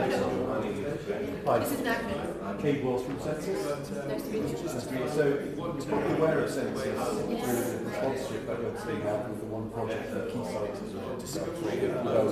Uh, so I, I'm now leading up the cybersecurity activities at CENSIS. We've decided to invest in actually supporting the business development team, focus on cybersecurity, but also advanced manufacturing. So I, I come from a, a hardware sort of forensics background, so I started off very much investigating at a board level, um, but then moved into the digital kind of forensics side because quite often with things I was investigating, it was unclear whether somebody had turned off um, a security lock mechanism. Manually in terms of hardware disconnecting or whether somebody could remotely access these pieces of equipment across the internet and, and made that change. So I was doing that for about five years, investigating fire explosions and personal injuries as a result of various activities that, that, that people are performing. Sometimes. They're just design faults, but at other times it's malicious. So I'm leading the activity. So I just wanted to introduce myself. I'm slowly working my way around all, all the stuff at Napier and just and just letting you know um, that uh, CENSIS is very much investing now in the business like IoT. IT, okay, so are you interested to uh, do the machine learning approach? Yes, this is something that I've, I've, I've, I've been pushing to some extent, and particularly with the um, industrial, industrial challenge, um, strategic challenge goals, the ways, um, especially that you're aware of, which was looking for questions of interest in this area, pushing industry to take an interest in using ML approaches to threat um, detection in IoT networks, but not looking necessarily at That are IP based, looking at Sigfox, LoRaWAN and other things which use different protocols. Because what I feel at the moment is that you have a lot of um, expertise in Scotland, but also UK and globally in terms of systems, everything telecommunications uh, themselves. However, with a lot of the newer protocols and wireless protocols, there's little understanding, little research that goes on the cybersecurity aspects there. And when you're considering endpoints, and people talk about um, understanding what's endpoints, um, it's showing now that companies are going back to looking at this, which they, they kind of looked at, I suppose, 10, 15 years ago, and now coming back to it. However, it's not an IP network between, they seem to forget that and say, well, okay, we'll look at once the data's in the cloud, do an assessment there.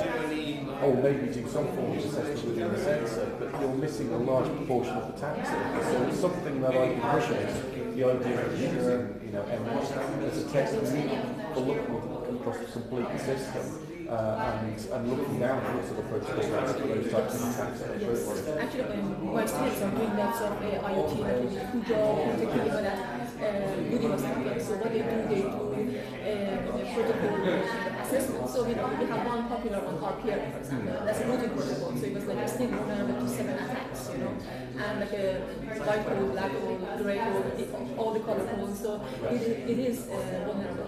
So and what is what one of my students find out that um, okay, so one particular finding is part of an attack. Uh, it, it cannot uh, like successfully uh, executed, right? Because we have another um, another thing in a network, which is the objective function. Objective is like a, if you want to think about uh, protocol and objective function. Protocol is like your house, and objective function is your furniture. You can have your house with different furniture. And he, he, he, he, he, he try different furniture, and, uh, objective function one, zero, and different, and they, they find out, you know, they're all of them are vulnerable. So, and he's now what they're going towards, is going to uh, to find out if we can we can uh, find the anomalies on IoT network uh, based on machine learning and energy consumption. So uh, these are the approach that I'm I'm really interested in, like in terms of machine learning and cybersecurity, IoT. I'm, I'm, that's my And obviously with where um, CENSIS we're very much there between academia and, and industry and the idea of actually getting the two, two organisations to, to, to, to work together um, And then even uh, just to listen the kind of the critical in terms of what they're, what they're trying to do. And I'm particularly interested in terms of critical infrastructure. So, the investigations in that space and obviously the outcomes. So, I mean, very much And it's, and Yeah, and, and, this is my estimate. It's yeah, and I, I- I've said to him, I said, the amount of condition monitoring that's on in the interest at the moment, for himself to maybe talk to Scottish Water and say, okay, you know, this is what we've done with this, a case study using real equipment. We have access to those data we've got uh, in terms of what's no good, what's an issue from, in terms of a condition with a, an issue with a which we were discussing, or uh, an issue in terms of a piece of machinery like a, a pump fault, as a way of using that to inform um, kind of the aspects or the characteristics which are Yeah. cybersecurity related. Exactly. So I think there's an opportunity there. So I'm I'm very keen for him to, to, to, to get in contact and to see if we can help build a relationship. We And do then, work um, with Scottish we- we Water wait on until the projects. outside. And I think it helps at this present moment in time because there's a real push uh, in terms of condition monitoring in, in Well, exactly, but then you organisations. just, And they're It's a- vulnerable. And it, the Oh vulnerable God, always. that's so scary.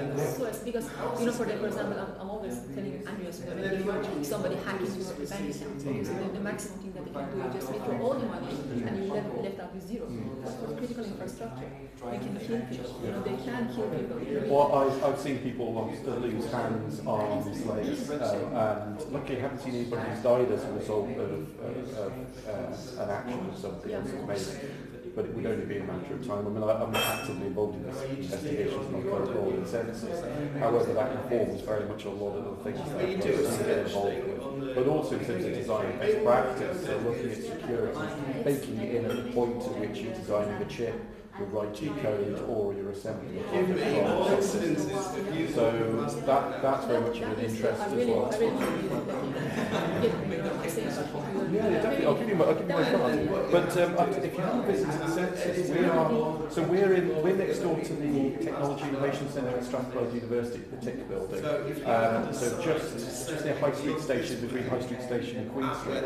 And um, so we're easy to get to. And um, I'd be delighted if you would like to come along sometime and have a look at our IoT demonstration centre. Uh, and just have a, bit a chat. So um, in terms of where we sit, we're talking to, the three cyber security um, uh, integrators within Scotland. So Alan obviously here today and I had a catch up with him and that's great. And he knows what, what we're interested in. Get involved in terms of six or other types of activities in there.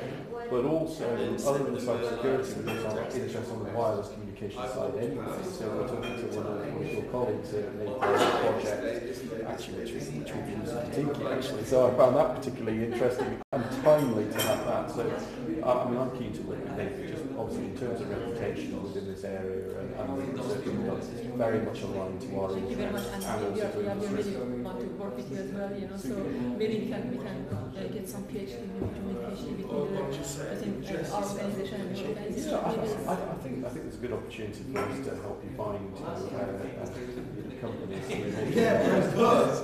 We are, we, while we are not set up, we're set up to help industry. So it's very much from a, a drive from industry rather than academia. But what we do keep is up to date records of what each researcher is doing. So when we do go out and talk to, to, to companies, we can say, okay, we're aware that, nature, they're, they're working in these areas. And um, with what, what's already been presented from the discussions that we've been doing, the rest of the staff here, I think That would be good, that would be lovely, yeah. And uh, actually, Andinos is uh, working on the water tank. So at the moment, the water is, if uh, attack is happening, so they ended up uh, leaving your tanks uh, without water. So the, the entire city is gonna be without water. So that's not much dangerous. But he's slowly, slowly moving towards the uh, water treatment, like a kind of the changing the uh, chlorine, is it chlorine?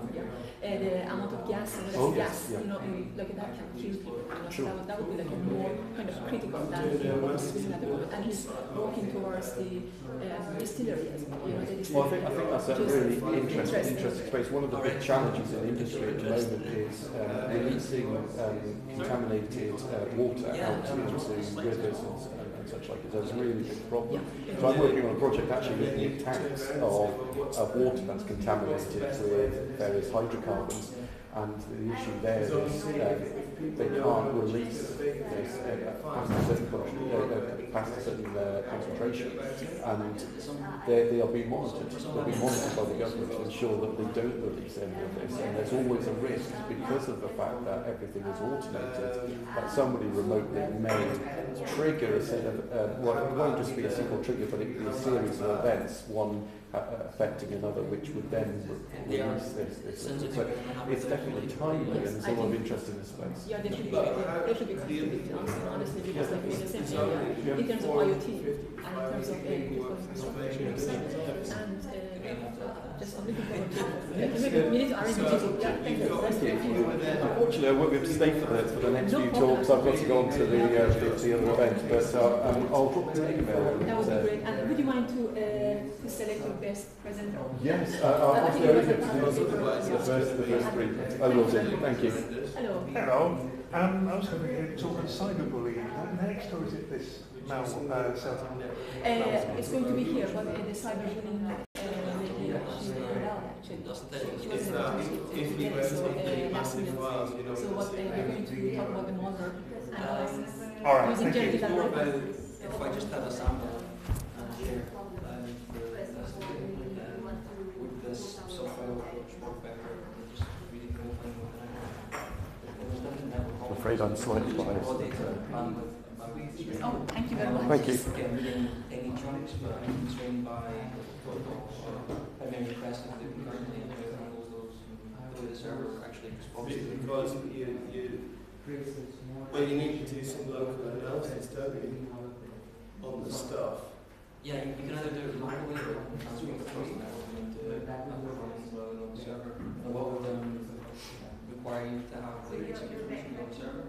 which you might not get. But then you would going to also have a problem about whether or not the server is now forensically safe. Yeah. And if it's So a, surely the best answer is to pull the disks. you can't always do that. So, well, moving the cloud. You know, start, uh, raise, yeah, the He's going to lose the volatile. Yeah. But I mean, you can, you can fill the NAS with the SAN or whatever, maybe, and hopefully it'll get back up. Distributed. But when it's distributed and virtualized and all sorts of stuff, um, there's some reports saying basically, they take everything up back up. Or if, if we pull the disks, how do we put all this back together? Because it's. Well, the- the RAID will then try and rebuild, and then that will go across to the other side as well, and then knock your actual master, Uh, wouldn't it? rates, If you think about like a, a stream backup thing, all file changes then just get mirrored to the other end. That would bugger the whole thing, wouldn't it? yeah, you have to be really careful. So, but then if you don't have, if the data is volatile, you, you can't get it without running something to capture the memory. Well, um, If you shut it down, So you're going to have to have a process of doing an initial and then install something that prevents writing or prevent the writing, then grab the memory, then shut it down, and then pull the discs, and then do your analysis, and, and then keep the original disc for forensics, then make a duplicate, put the duplicate back in again, and then the other duplicate to do analysis.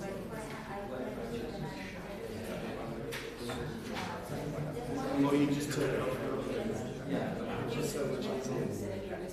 Which it might not, because the first thing the record will be the record, and then you've got no server able to do anything. And then if, um, so business, and this is a business record resource, you're now, I think, the- Because you actually decided to turn it off, at which point it no longer works.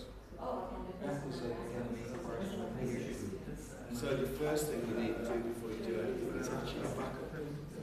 Yeah, but back then, something just, just before, isn't, Which is a massive resource intensification. It's terrible.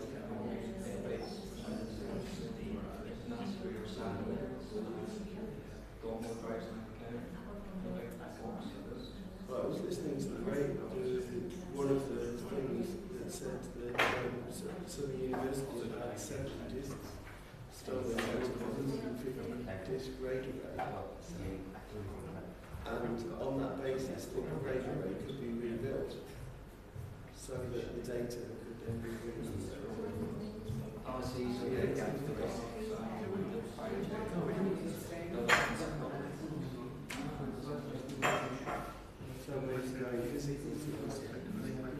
yeah,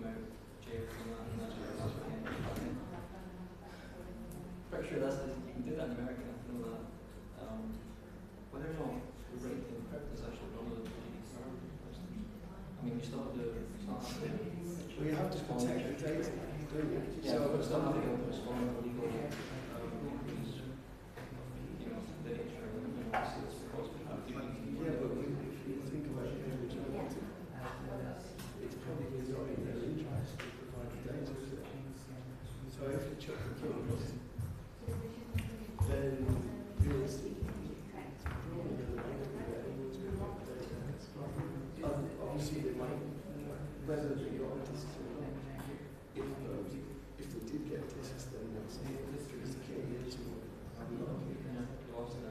Or alternatively, you, you just take the discs so there's nothing there.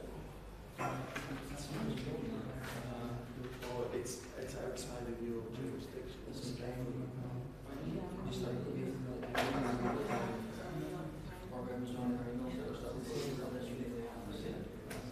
Well, pro, I think Proton Mail or something is what they use, the uh, message ten minutes or something after you've actually read it. Shut down, because the guy got a request from the agency,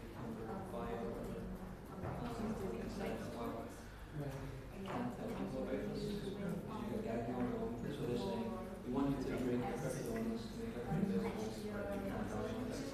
So that's social media. I think it was, it was something like that. I can't remember. Yeah. And, uh, Yeah,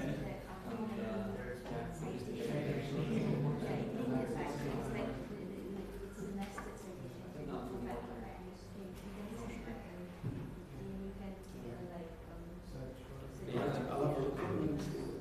So I I sent you one of the presentations that I've got here, and I've also got, um, two paper papers. for the conference, and we can, uh, So, if Are you going to go down here first? Uh, I think that the stuff doesn't have to be secret, so there's like, alright, like, you know, actually, actually, I mean, I think that before,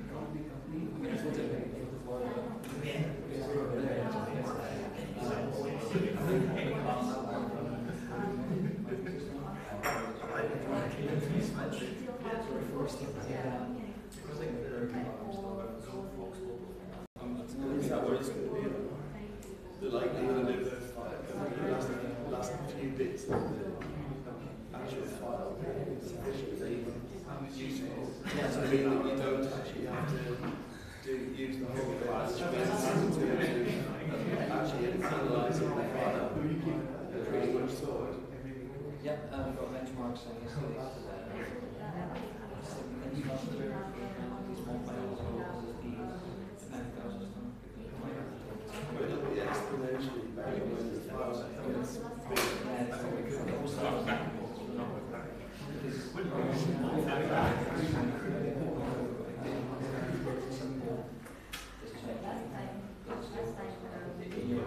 Surely, if there's a checks, I know obviously you can't rely on checks, they did the checks that makes it. Checks on the board. Um, Is there not something So PNG is no checks on this.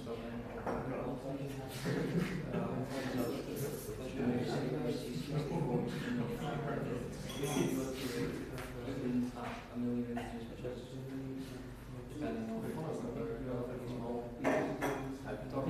images, on relatively about.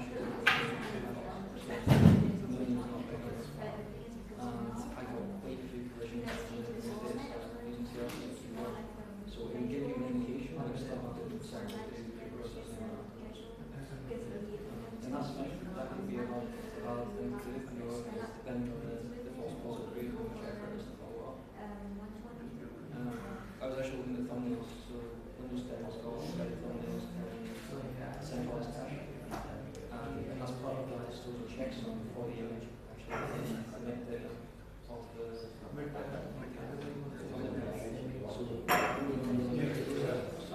of code, I've got a list of CRCC cores, a list of all the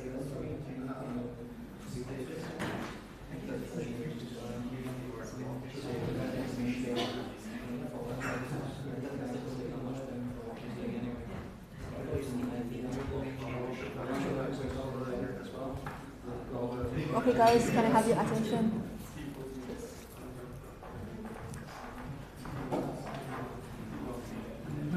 Thank you very much. Okay, so This is what I used to control. uh, this one, is- yeah, definitely. So this is forward, Oh, yeah. This is. Do you want to try it? forward and back. And then by laser, you can laser, point it. Okay. Okay, so Okay, guys, we have Kehinde from Edinburgh Napier University towards defeating metamorphic malware using genetic programming. So can I have your attention, please, everyone? Yeah, I think. uh, I can, I can, yeah, if you hold this one, I can. Hmm.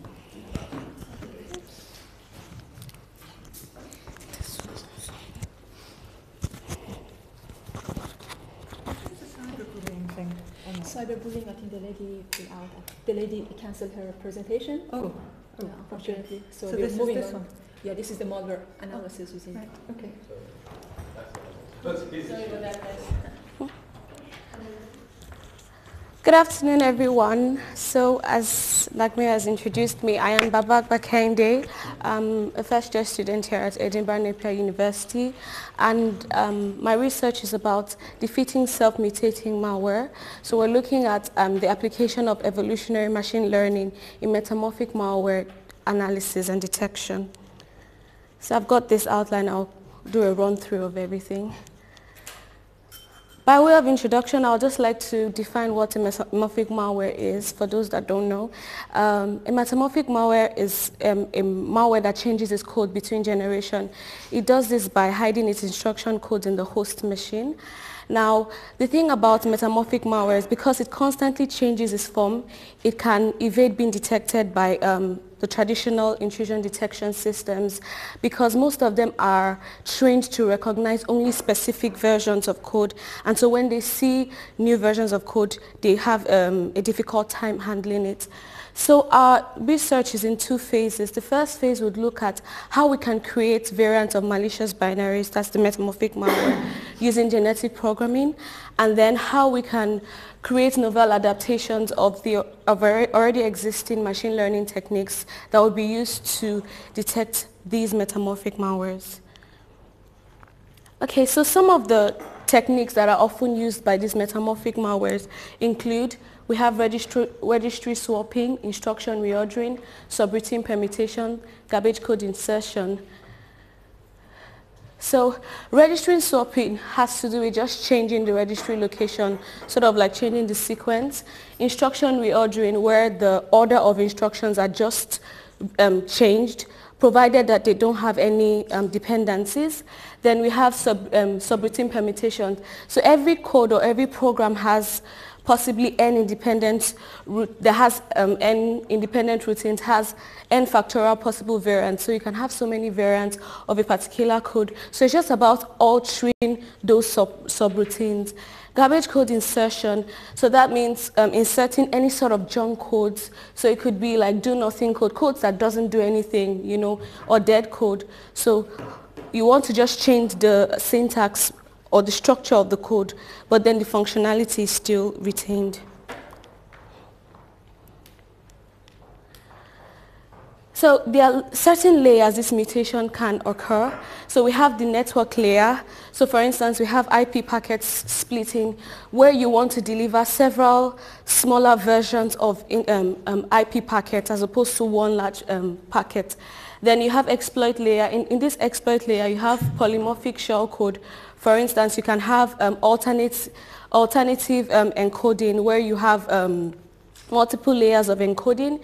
Then you can, on this layer is where you can also have things like junk codes being inserted into the um, original mal malicious binaries. And another layer is the application layer where um, for instance, you can have what's called protocol rounds. So the malicious attacker can launch initially a very a clean um, um, can just launch a clean attack, it's not an attack, can, sorry.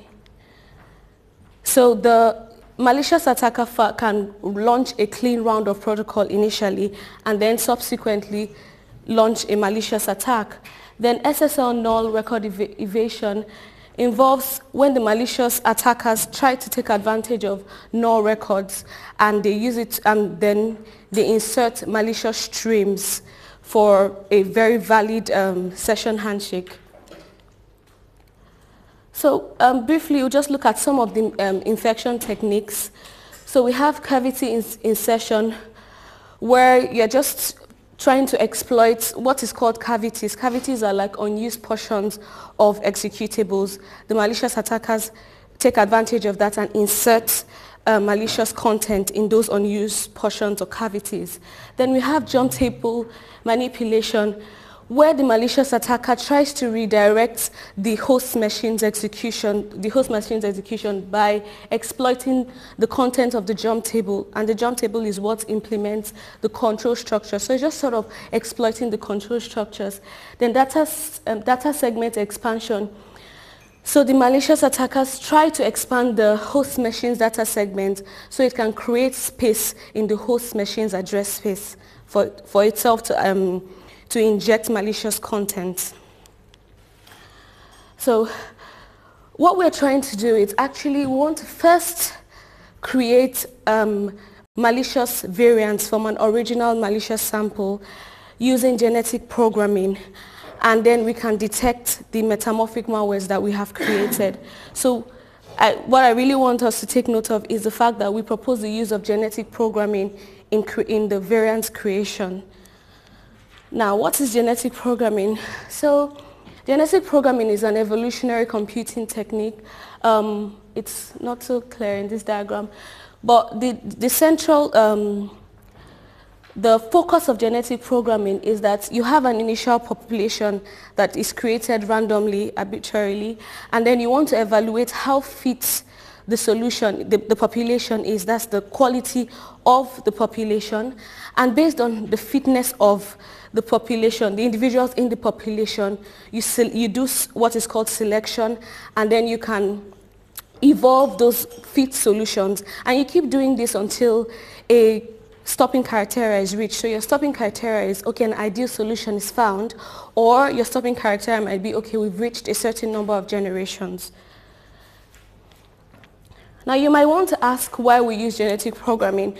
We use genetic programming for basically two reasons. So when you want to search for um, mutants of code, that's variations in code, it involves searching a very huge, uh, you're exploring a very huge search space. And it has been shown that genetic programming has been effective in solving this, um, in solving this um, problem because it is very efficient in searching for variants of code.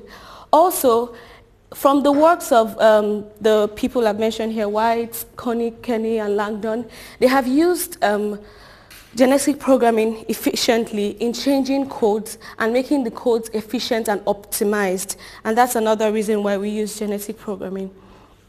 So um, people pre um, previously people have used genetic programming in metamorphic malware detection. So um, these two, um, the two authors here have also have used genetic programming. However, when they use genetic programming, they only focus on the ability of the malware variants to be able to ev evade being detected by intrusion detection system, which is actually quite good.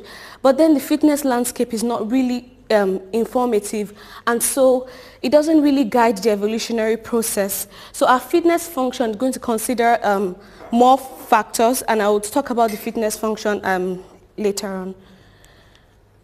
Now this, I haven't um, gone through what people have done. We have come up with um, a few research questions.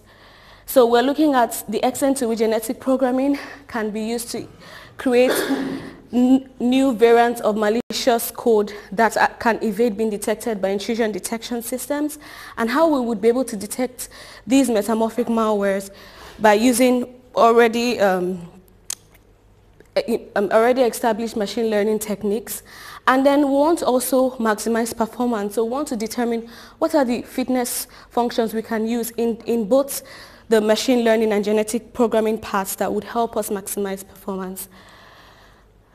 So this is also my research methodology.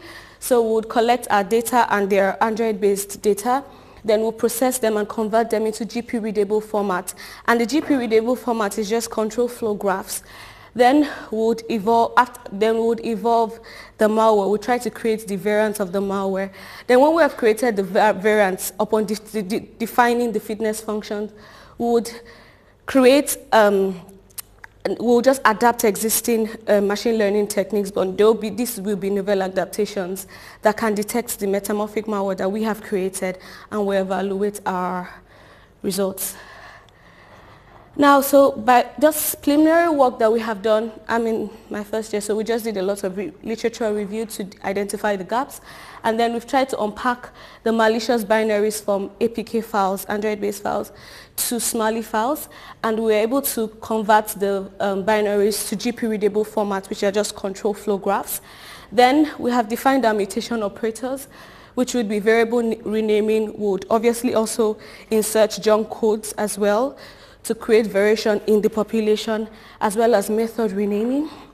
And also, we have also been able to formulate our fitness function as given below. So in our fitness function, like I said, most of the previous works have actually focused on the ability of the um, variants just to be able to evade being detected by intrusion detection systems. But we also want to ensure that First, one, the first function there is the executability of the malicious binaries. So after making um, changes to the initial uh, malicious binaries, we want to ensure that they, still, they are still executable and they retain their malicious, um, malicious intent. Then we also want to look at the similarities between the original uh, um, malicious binaries and the variants we've created, and the similarities between their signatures upon converting them to the, their signature form, and also want to, want to look at behavioral similarities. So that's what comprises our fitness functions, fitness function, which will guide the evolutionary process. So um, by way of conclusion, um, we believe that our, the proposed work is going to be very effective in terms of the fact that when we create the variants of the code, we have a large data set of, of variants of of an original malicious data set, which would be also a very good way of testing the current intrusion detection systems to see how efficient and effective they are. And the second phase also involves um, creating novel adaptations of machine or, already existing machine learning techniques that will be able to create these metamorphic malwares. Now, the machine learning techniques will be trained on a larger data set because you are not just looking at the first original binaries, you're also looking at the variants and the mutants. And so because it is trained on a larger data set, it, we hope that the detection rate would be higher and there'll be lower false positives. Thank you for listening. These are my references. Thank you very much. Thank you.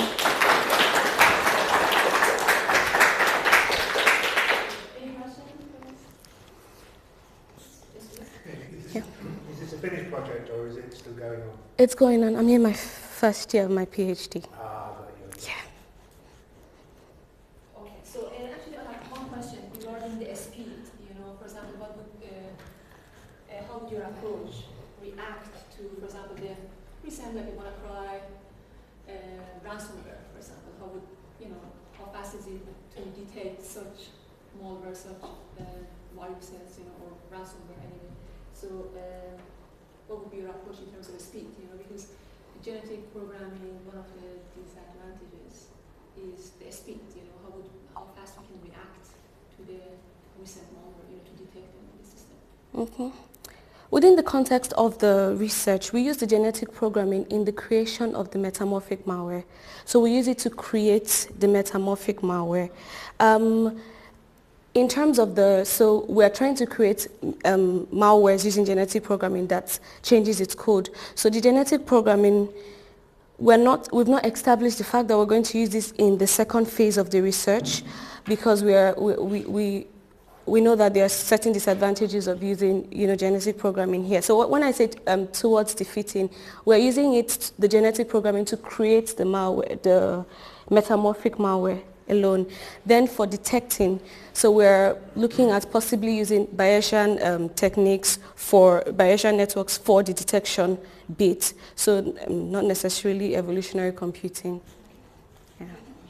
Actually, building on to that, I was just wondering if the technique you have could be used for predicting what might come up in the future. Some sort of maybe a new strain will be exhibiting these characteristics. Is that possible to apply for that kind of prediction approach? Yeah.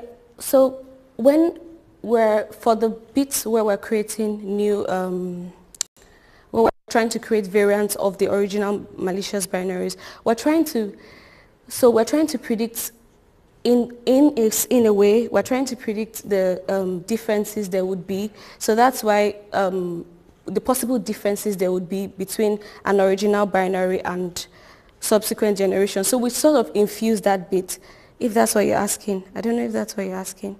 Um, to some extent, yes, but just maybe we'll take it offline later. Okay, but like we're, look, we're, we're doing a mimicry attack, so we're trying to create several variants. That's the first stage, is to create several variants of an original binary. So it's more like we're envisaging the different forms the original binaries can take. And that's what we're using to train the, um, that's what we would use to inform the um, later part, which is the detection process. Do you not think this is sort of defeated by heuristics and sandboxing because that's looking for the behaviours of the application rather than what it looks like in terms of a, a binary file. Sorry, I didn't get your question. Like it, the, the problem that you're trying to solve, a, Yes. a, a self-mutating file, Yes. is sort of beaten by using sandboxing to examine what the behaviour of the file does, rather Yes. than actually um, what the file um, checksum is or what the actual file's um, critical behaviours. So that, that sort of solves this problem without knowing what the file looks like. Mm, I'm not really sure if um, I get you correctly, but what this does in terms of the first bit of it, that's creating metamorphic malware, what it actually does is that we try to create variants of the original code. Now, we are we want to make sure that the original code and the variant are as dissimilar as, po- um, as possible. So that's why we're looking at the behavioral, um, we- we're going to, part of the fitness function looks at behavioral differences between the original code and the um, variant. Then we also look at the, so that's behavioral based analysis and in terms of um, the normal signature based analysis, we also look at the signatures and their similarities as well as the original files and their similarities. So I don't know if that's, so that's just the first bit of the research work. Then we try to look for how we can detect these um, metamorphic malware using um, machine learning techniques. So right now we're trying, we've been able to formulate the problem to an extent, so other aspects of the, of possible things that would come up would will address. But I don't know if that's what you're asking. Well, what I'm saying is antivirus vendors now are already Yeah. sandboxing the, the potential problem file, Yes. looking at what it does. Mhm. So perhaps that's something worth talking to them about because they've sort of avoided this problem Okay. by going to that next level. Potential problem is the key word. Okay. What this work is doing is spotting the stuff as a potential problem. Then you can sandbox Yes. and deal it. But until it's spotted as a potential problem, you can't, the sandboxing doesn't work. It's executable, isn't it? It'll work, but spot it as a potential problem before you bother sandboxing it. That's the thing. Yeah. It's a question of priority. Thank you very much. Any question, guys? Yes, please. So Okay. the hypothesis here in the research is that the behavior of the mutant is going to be distinct enough from the original to be able, for this you have that distinction. I think it just following up from the, what you said, the gentleman's question is, is questioning whether, after all, the behavior of the mutant is going to be too similar to the original one, that it will not provide the Okay. opportunity to say, yes, it's distinct enough, and therefore it will maybe defeat um, antivirus or anti-malware. So I think your hypothesis is that um, the mutants are going to be different from the original, even Yeah. from the behavior. Well, the behavior, what, what the behavioral differences is, it's this, the behavioral similarities is just one bit of it, but quite frankly, we really, it's we're looking, we're not just looking at the behavior. That's why we're not looking only at the behavioral differences, if that's what you're asking. Obviously, you are generating uh, Mhm. signatures, as you are creating mutants, you can generate signatures for all the mutations. Yes. So that can feed into the classic kind of signature-based anti-malware. Yes. I think is you're trying to do clever bit as well to see whether you are inducing changes in. In the behaviors. using all these mutants. Yes. Because if the, if the behavior is the same, then obviously that can be caused by. Yeah, I get your point. So like a, a possible thing would be that there would the, the, there wouldn't be so much change in behavior, so it's still sort of like a static analysis way. So that's something to look look at to look at so probably in the future though. Yeah. Thank you very much. All right. Thank you. Thank you. Oh, sorry.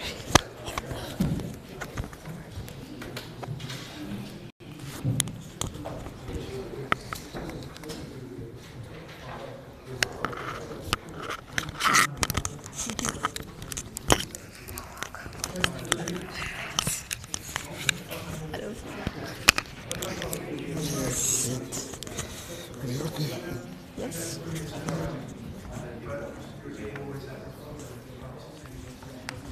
this one as well for this. I need to introduce you.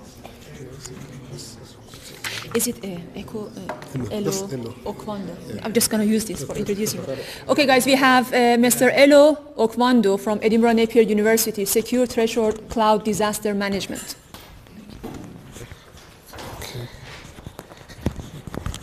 Yeah, good afternoon, everybody. I'm Elo Chukwukwando, just uh, writing up my thesis, and this is one of the potential application area of our thesis. So we're trying to, while we're trying to study, we are actually working on data availability and how to scale um, all manner of data to using multi-cloud, so we can improve data sharing in the multi-cloud, depending whichever side. So we, we, we define a concept we call fragmented SQL system. Now we're looking at the potential storage area, application area of our system. We're looking at how to mitigate disaster using secure threshold cloud architecture. The system is secure on its own. As we go on, we see understand that. Then we're looking at possibly the statistics you normally see most of the times. You're looking at issues about cloud disaster. You can see the comparison between three different cloud service providers and how it is being used the kind of cloud outage you normally have about that. You see that from 2015 to 2017, most likely, Microsoft has the highest level of what? Cloud outage. The reason is that most of the current uh, disaster management system is based on recovery, what is known as RTO. We'll come to that. But if you look at this, you can see some of the causes of most of the cloud outages. You can see the statistics of the causes. You can see about human error is of the highest percentage and thereabout. When our system actually takes care of all this. Then what have been done? There are several works which I don't want to bother you about, but we just took some few of them to show you what is being done. Remus is all about trying to preserve the, the software layer of the VM by using what is called, um, it's just trying to preserve by using what is called speculative uh, execution.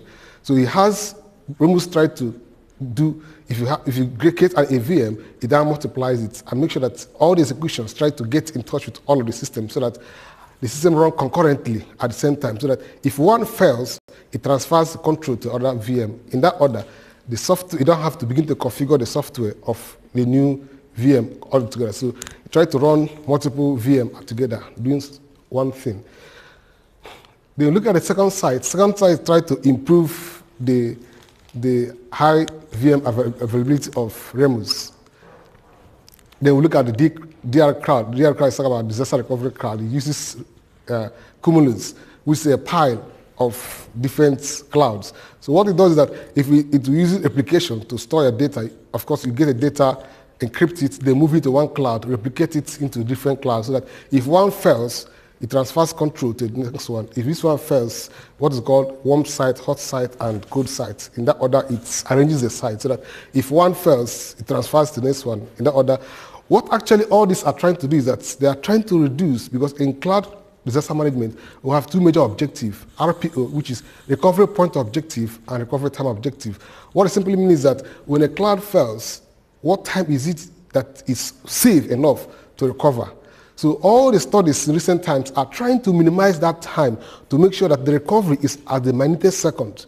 But the point is that there is always what? A failure. And the failure is based on what? Recovery. And we look at this and discover that there's no amount of recovery, even if, per sec- even if it's the least second, once disaster happens, there's a business downtime. And sometimes it can be very costly. Because if you are having a cloud service provider and you're hosting data of so many um, multi- multi- multinationals, time is of essence to them. So even if it takes you about maybe one second or two to recover back, it might take some of them back more than one hour to be able to reconnect back again. So that little time is of essence. So, and of course, you know the business of this time, time is of essence. So a little time you lose can be very costly into the system. So all this, all the disaster management systems are based on recovery, but our own is not based on recovery. Well, look at why does this concept demand attention? So knowledge economy needs timely data ability for decision making. So if you're going to do something and you have you lose customers, you lose you lose so um, data, and sometimes there are a lot of leakages. You can see that. Another thing that most of the cloud service providers, this is for you to be to subscribe to them, you have to sign different multiple service layer agreements. Sometimes you serve, if you don't subscribe to disaster recovery, disaster recovery will not be given to you in that order. So there are multiple agreements you need to sign to be able to be safe using a particular cloud service providers. Then in each of these outages, there are basically losses. Sometimes, you- of course, you know that when data is encrypted and saved into the cloud, most of the time the keys, encryption keys are stored along with what with the data you you you stored. So sometimes, if you, either the, the data is lost or the keys are leaked to the public, so most of these things are not good for business. Then basically, in overall, this puts fear in cloud users. Say, ah, I know somebody who has been telling me say anything about cloud. I don't want to talk about that because I'm afraid of losing what I have. Of course, you know that most of the fears people have is once you you outsource your data, you're no longer in control. The service providers are in control of it. So, what is our approach to all this? We're looking at Adi Shamir's work. Like I said before, our work looked at Adi Shami and George Blakley, who talks about how to break a data into shares and then define out of those shares the number you can use to recover the original data.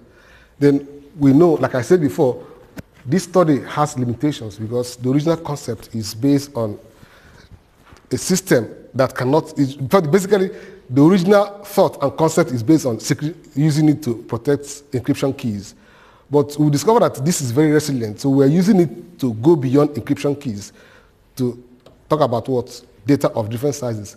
So we are now looking at Adi Shamir's work, which defined the concept of breaking file into shares, and using a portion of it to recover the data. Then, of course, it's very much secured. Because one is that the system is self-encrypted. You don't need the encryption key to use the system because the data is broken into meaningless shares by which, except you're able to get the maximum threshold and use the appropriate uh, uh, algorithm, you can't recover original file. So it is completely secure. So if you get a portion of the file, you can't make meaning out of it because it doesn't, you can't get anything out of it. So, and then the system uses a multi-cloud architecture in its implementation because Formerly, it was used it just within the system, but now we have, it has been scaled over in use what in cloud. So what I mean by multi-cloud is that, take for instance, you have a file, you want to break it into five shares, out of which you can use two to recover it. It simply means that you're going to subscribe to five different buckets, possibly using one service provider or using multiple service providers, whichever one it means. It means that, but you must use one what, more than one service provider or more than one cloud bucket and system is resilient. The reason why it is resilient is that failures do not really affect it, except you reach the maximum threshold which you use to recover the file. So it is resilient on its own. Then what are we doing? We now we are, uh, in our study we use 10 different cloud service providers, but we use more of three: AWS, Google Cloud, Microsoft, and possibly Dropbox. But in this one, we use more of AWS because to some extent, AWS has a good record of having stability. But we use AWS in different, it's unfortunate, it's really not clear. Different places. We use AWS Ohio, Canada, London, Japan, uh, Mumbai. We subscribe to all of them.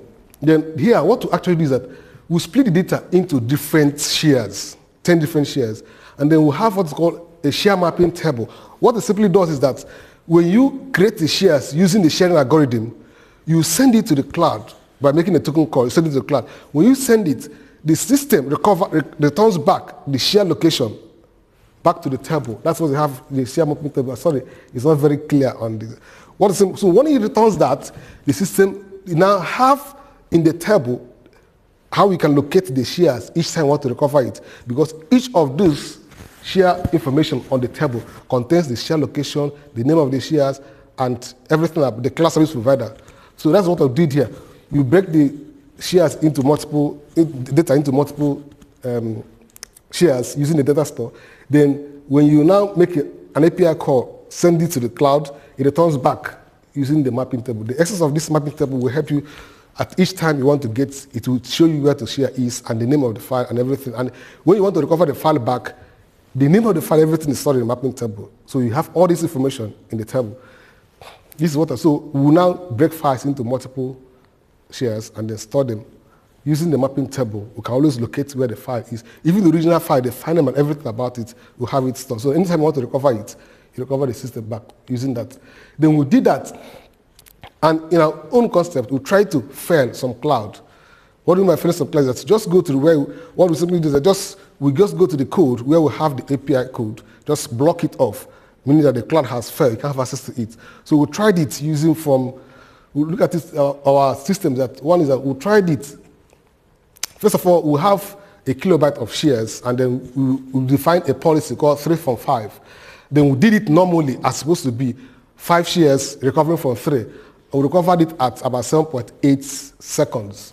Then, but we try to fail one of those clouds out of those five to see whether we can recover it. We recovered it at 6.52 seconds, meaning that for at the 20% failure of the cloud, you, the, recovery time will be 1.2 here. 16.1% faster. They will now discover that we now did it again for a 10 kilobyte of file, which is the key. Actually, we're trying to use, use it, uh, keys. They will now have, for a 40% failure of the cloud, we'll have it at 51.8% faster. So it simply shows us that in as much as the cloud failure is not up to the threshold, the faster the recovery is. Because what do you mean recovery? The simply, the simply logic there is that if you are using five clouds to store your data, what it simply means that when you split, you split into five and you store into all those five, and all the records of that five are returned back to the mapping table. So when you want to recover the file again, the system has to scan through the mapping table for all the five of them, and then goes to all of them to recover the file. What it simply means is that we need to recover five of the shares and put them in the memory, in the memory, the system will now pick the best of the three of the best of the five and then use the recover original file. So if you're not doing, if at the end of the day, you don't need to go to all, to all the five, it simply means that you have to what?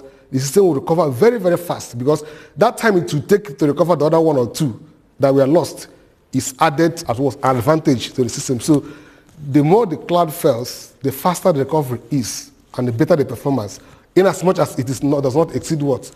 The threshold. So we now discover that this has a potential application in mitigating cloud disaster management. So rather than focusing on recovery, this has the capacity of keeping your business continuously running without fail. Now, when I talked about in our proposal, I present, we presented a, a work which we did which we looked at as the future work. The future work is that define a self-organizing system in the sense that those, even when the system gets into the maximum threshold, the system has a way of reorganizing itself because it knows from the record it takes from each of the cloud behaviors which one has the potential of failing. So in that order, the system takes care of that because we're using linear regression model to see the cloud behaviors and then foresee the behavior of the cloud ahead of time. And then anyone that shows potential danger, the shares that were sent into it are changed. What it simply means that we now change it to the one the system that behaves better. And thereby, at the mapping table, the, the, all the information about the, the cloud which was failed will be removed while the new, the new ones are returned to the table. So each time, what, so that one that had the, the system that's capable of failed is no longer a problem because one, even if you have it, you can't recover original data. But what we do is that when we do that, we go to those cloud service providers, delete all the files, run a delete command. It will wipe up all the shares in that particular command while we maintain the ones in the other command. It has no, there's no cause for alarm because even if that cloud failed within that period, we won't be afraid because those shares that are contained in this cloud has no potential of revealing the original file. So we now looked at it and said, this our work has the potential of being what? used to mitigate cloud failure. Rather than depending on disaster recovery, we now focus on what? Mitigating failure. In that order, the business continues to run without being afraid of failure of any type. So if you look at this, is just the results which you showed before. This is just a graph of it. How many minutes do I have? Or second do I have? So we'll just conclude. We discovered that current cloud disaster management mechanisms have been focused on what we call faster recovery, just trying to re reduce the recovery time objective, but not on mitigating the failure itself. So we simply talked about. Then we look at cloud outages result to losses and leakages. Like we know, when it happens, there are basically losses and leakages of different types. Then mitigating cloud outage is possible using cloud threshold system. What I mean by threshold now means that a certain number of the cloud which you have can always use to recover your file. So you rotate it within that place.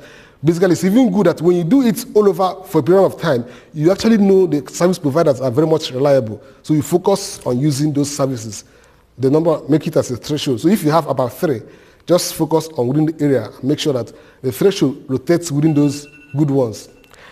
So we said, uh, such a system is as system work is as much as outages are not exceeded. Now we propose what we said, which we did in our poster, a self-organizing system whereby the system maintains itself and make sure that anyone that has potential, yeah, the capacity of being felt is not longer used in the subsequent work. Thank you very much. Thank you.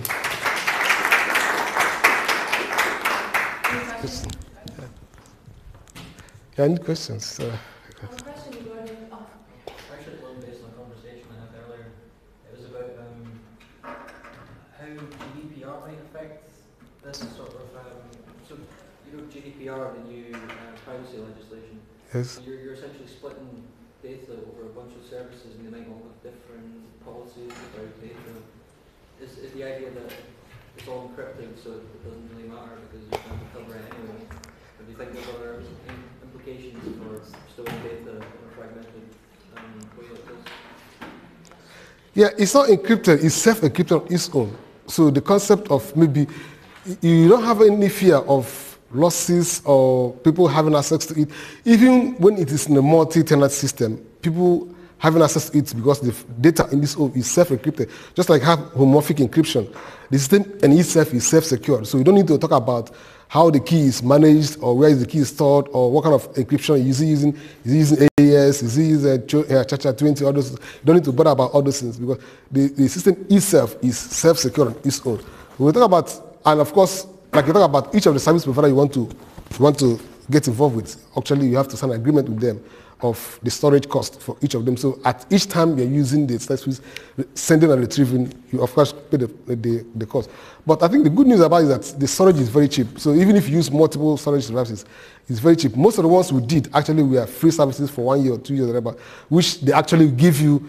If you like the AWS use, we use about 10 different buckets. If you sign up with AWS, they give you about 300, uh, I think 300 dollars or about 300 pounds per hour, per, per year. So for the whole one year, you, and as much as we did it several times, we, we are left with 200 something pounds. So it's almost not something to be afraid of in terms of the, the, the storage. And which of the services you use, before, before you sign, of course, you must have to read through it very well and then understand what is going on. So I think the concept of GDPR is a new concept that came out 25th May. So each time you want to sign up, you need to look at the implication of what you're signing. I hope did I answer your question. Okay. Actually, I have a question regarding the, uh, because you talk about uh, selecting three out, best three out of five. So uh, my question is, have you done any optimization, any particular algorithm to find out if you need to go for three out of five or five out of, you know, four out of five? So what was your strategy? Sorry if I missed it. you know. Yeah, sorry, I didn't have it here actually, but the whole concept of the work we did, we studied different types of policies, different types of file sizes, to be able to know the combinations you need to have at each point in time. It's not part of this work. What's actually looking at is the potential storage area. When you look at what actually helps you to look at the policies we use from our studies that the policies you use, whether it is two from five or three from five or thereabout, one is that, like you were talking about, one, you need to ask yourself, how many class service provider am I going to use? You know what I'm saying? If I'm using five, and which one am I going to use? It's part of the study we have, but it's not here. It's just trying to show you different behaviors of the cloud service providers and which one we think that is best behaved. It's not, part, it's not here. So when you look at those cloud service providers, you now say, okay, of course you need to check out how much do they charge. If cost is your inhibiting factor, you can look at the cost of each of the service providers. Then when you now look at that, you now look at, you discover that the charges you have for cloud services depends on one, both storage and retrieval, you pay for it as well. So you look at look at if cost is an, a, a function for you. you can look at one is that if I'm using AWS and and sending and retrieving from there, will it cost me more? Do they, are they more reliable? So these are the. It depends on what you are looking for. If cost is an implication to you, you look at the one that is cheaper and they use it to maintain your threshold. But it has also an implication as well in terms of the, the speed of recovery based on the file size. But we didn't talk about. So these are the things we need to look into, which is part of our studies. When you look at those things, you now see which order you're going to use. But basically, the, the, the smaller the threshold, the faster the recovery. But it depends on the file size. If file size becomes very big, it becomes very difficult to pull in and then bring back again. So you have to expand it. So if your size is very small, we advise you go for a lower threshold, even if you have up to five or six classifieds. Just use a lower threshold because even if you store five, they only charge you for storage. They won't charge you for retrieval. So you look at the cheaper ones to do your retrieval, and you can always switch between these five based on which one you like.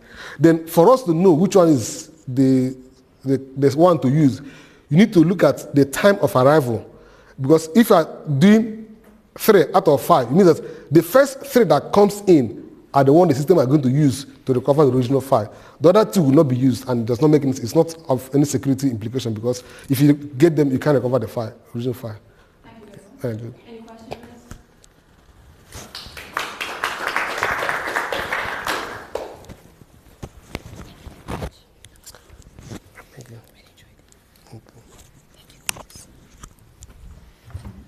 Introduce you first. and then I can use the clicker. Okay, guys, we have Dr. Chunbo Luo here. So he's a lecturer in computer science within the College of Engineering, Mathematics and Physical Science at the University of Exeter. His research interests focus on developing model-based and machine learning algorithms to solve problems such as wireless networking and remote sensing. Thank you. So this is the last uh, program of this workshop. I will try to make it as short as possible so that it's more enjoyable. And sorry, I should come early today, but my flight was uh, uh, delayed. So this somehow need me to thinking about my talk. So when you, do you do sports? Occasionally. So as researchers, I mean, I think we are the group of people which probably are under the average to do sports and which is somehow important for us. So in order to be very good at the sports, for example, I will take badminton as an example. If you try to improve your skills, the best way is to play with your mate. And your mate probably should be at the same level like you. If your mate is too bad, your skills will probably slide down after some training, which is not bad.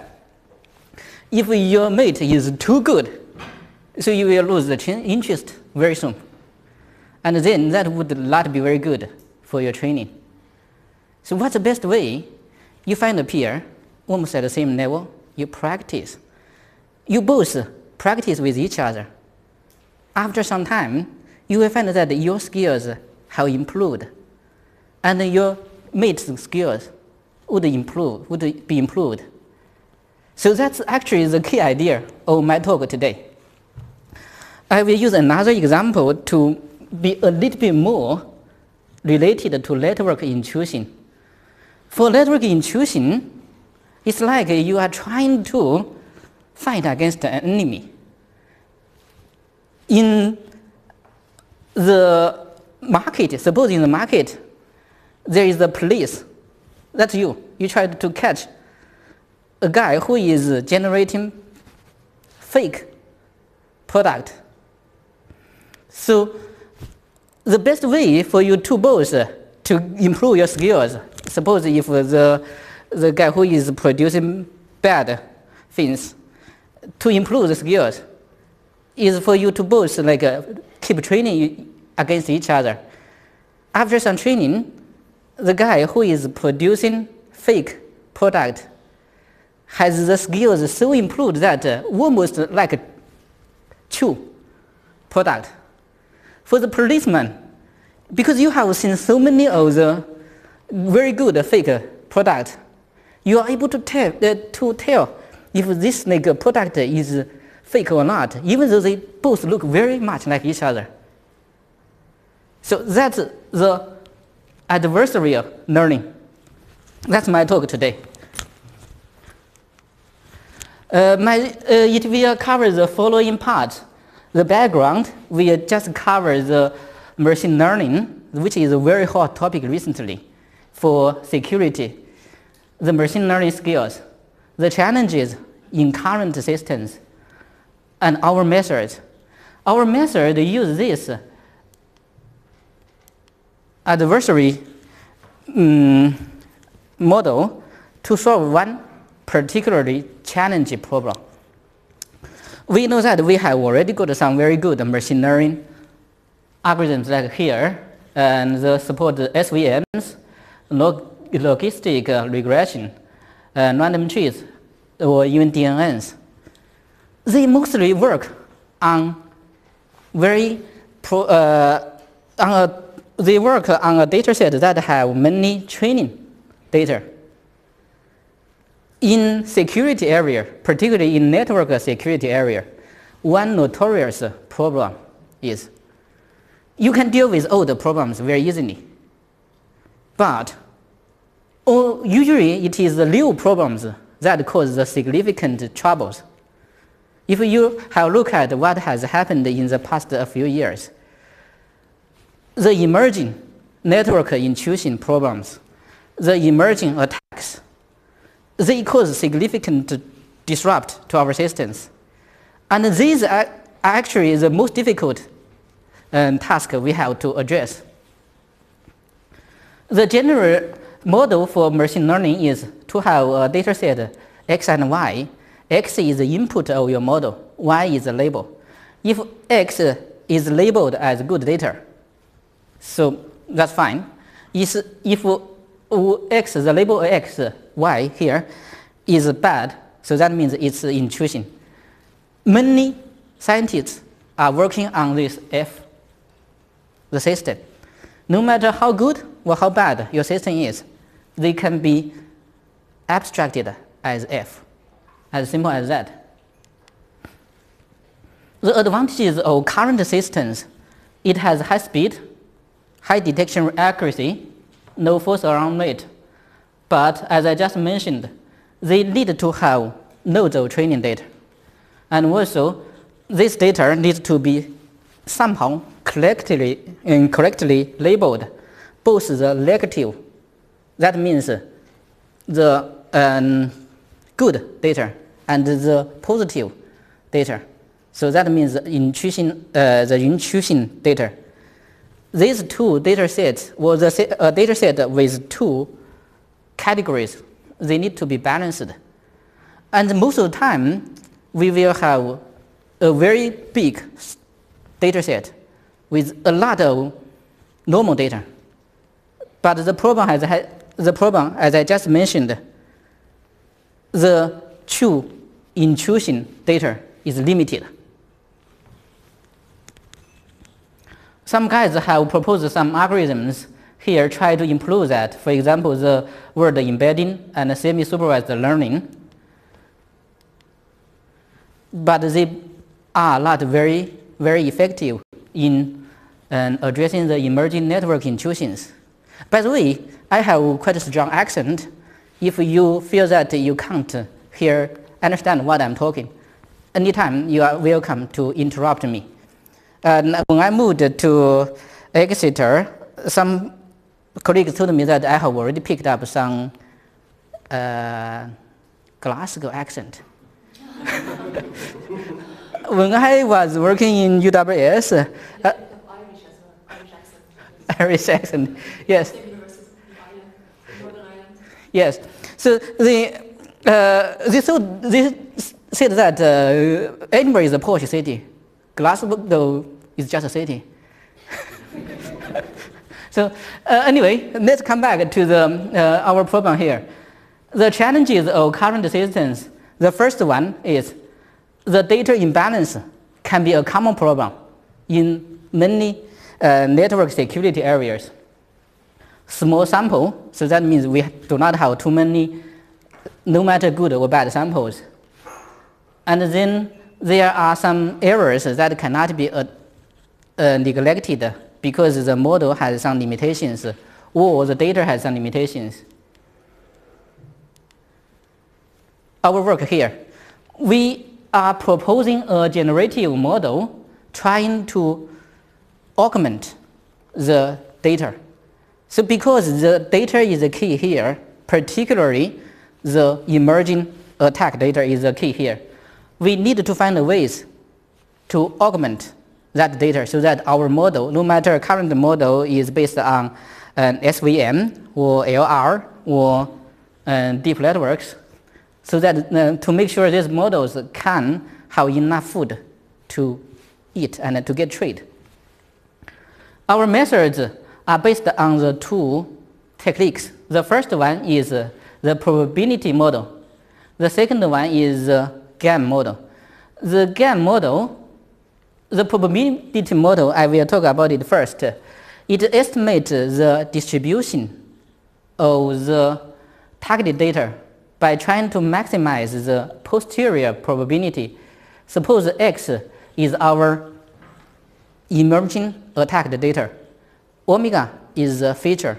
So the probability models try to improve, try to maximize that posterior probability. There are a few established algorithms like MCMC, MH, and Gibbs sampling. Uh, they these methods generally have the following two limitations. The first one is, is low convergence speed. Low convergence, that means the algorithm, even though they can work, but it needs some time to converge into the good solution. The second limitation here is it has less uh, representation power the posterior probability, even though it can capture some simple features, but usually our current attack network intrusion data have rich features. The data set we have been using, uh, the number of features scale from uh, 30, around 30 to 100. The current uh, posterior model and the probability model cannot effectively capture that. There is another tool which has been quite popular in computer vision recently. That's the generative uh, adversarial network GAN model. That model is composed of two basic deep networks. The first network is the policeman. The, the policeman tries to tell if the generated data is fake or true genuine or fake. The next uh, network is uh, um, is an artist artist who tried to create some artistic good work, uh, but uh, of course it's fake. So these two, based on the adversarial training, they improve each other until it converges. We are able to have a two deep networks. The first deep network is able to generate good data. The second one is trying to is able to identify the smallest difference. The limitation, of course, it's not a perfect model. It has some limitations. The first limitation is it cannot start from the scratch. The model needs to get some data to start.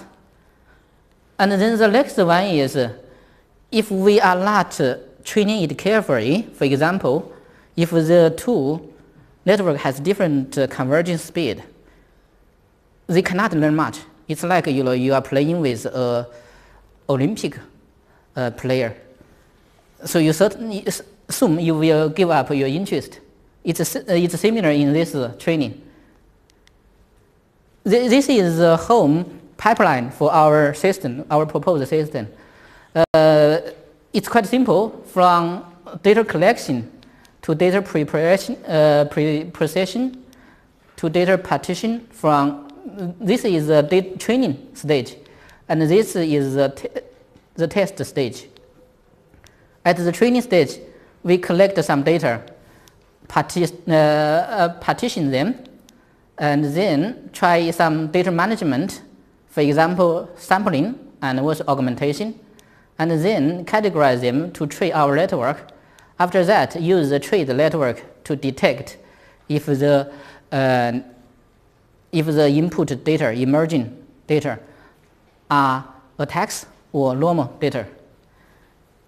At the training phase, the normal data, network data, are randomly selected, while the intrusion data are augmented to form the balanced training data set. At the test stage, the new the network data is fed into our trade network so that we can see if the input data is intrusion or not. The key of the whole, the whole pipeline is this part, the data augmentation component. That component is the one we have, I have spent quite a lot of time to talk. Suppose we have cyber attacks, and then these are the very limited number of data we know at this moment. It is fed into the generative network, and also there are some random noise. They are fed into the Poisson gamma, this model, and then uh, fed into the deep network. After that, we are able to generate some augmented cyber attack. Why is this uh, PG, Poisson gamma model, useful here? It is used to um, power our um, generative network, the GAN network. Forget these ugly equations. I, to be honest, most of them I don't understand. My students right here. So why the gamma PG model is important here? Uh, it is able to capture both the two types of features of network intrusion data or normal network data. If we have a look at the data, examine the data by eyes, we can easily see that there are two types or a few types of uh, features in these data um, items. Most of them are like this, accumulative network features, for example, the time, the address, the frequency of connections. There are another field, there are some other fields with binary input, 0, 1, and these, for example, the Boolean values.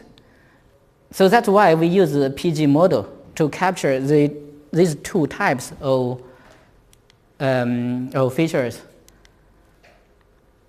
And then the, this is the introduction about the GNN. So that's the model, the ping pong, well, the, the ping pong model. The generator learns the latent true distribution of the intrusion data.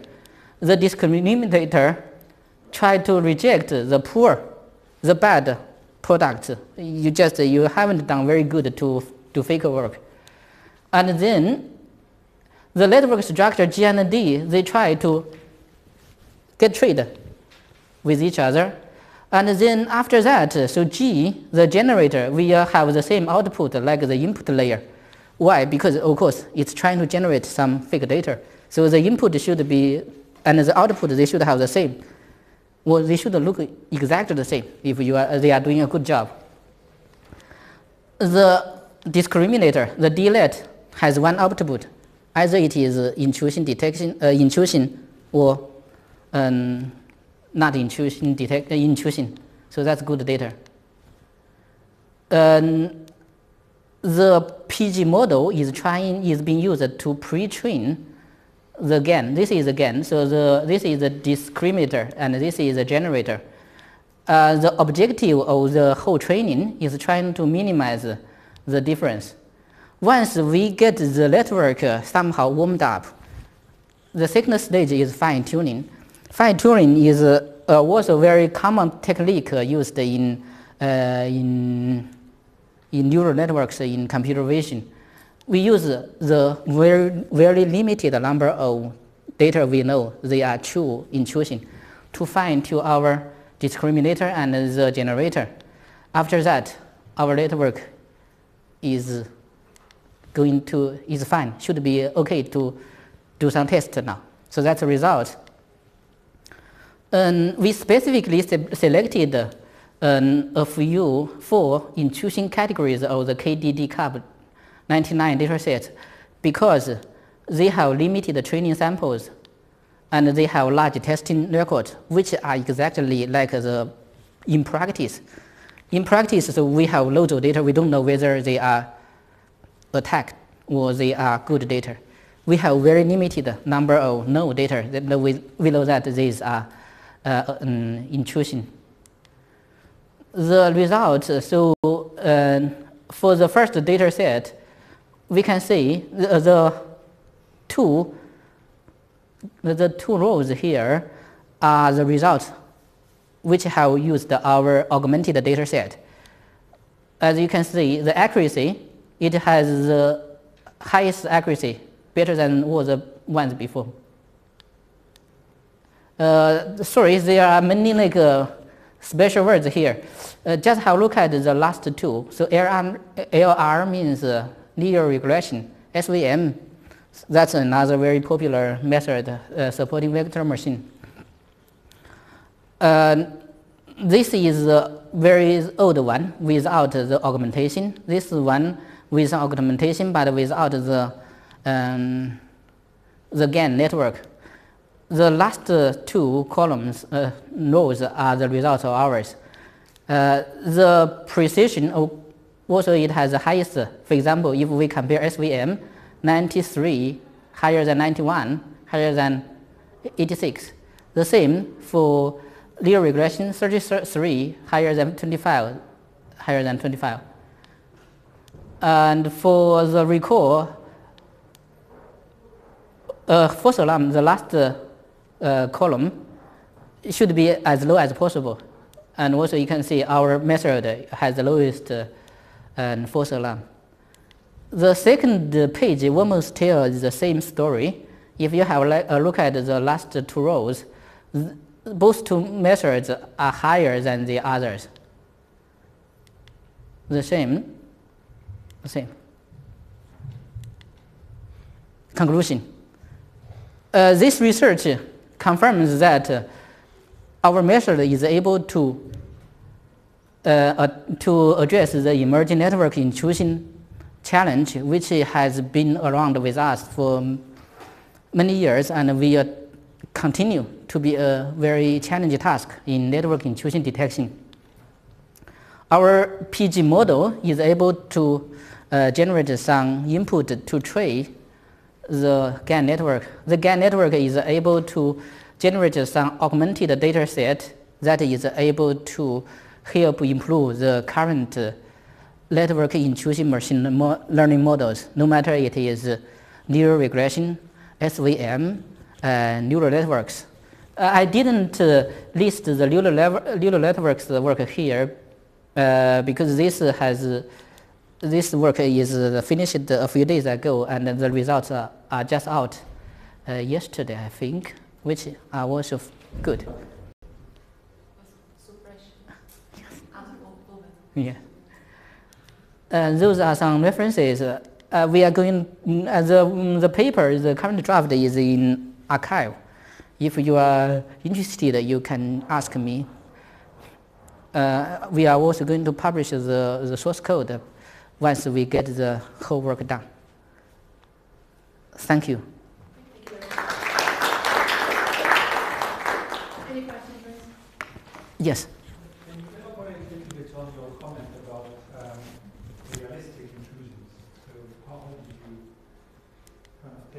Uh, which one? Um, so you, you say that you've been able to generate realistic intrusions? Uh, the realistic here in um, in statistics we usually call it the distribution.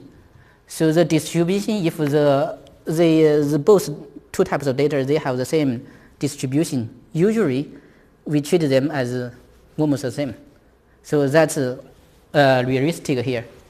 That's the meaning of realistic.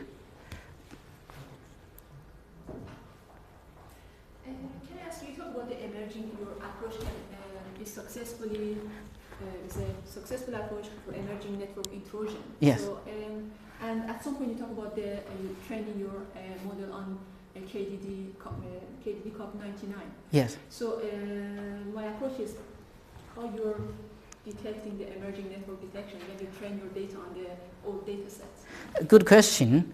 Uh, what I mean here, emerging attack, that's usually uh, this word is used to capture the kind of situation that uh, we have limited, very limited knowledge of the attack.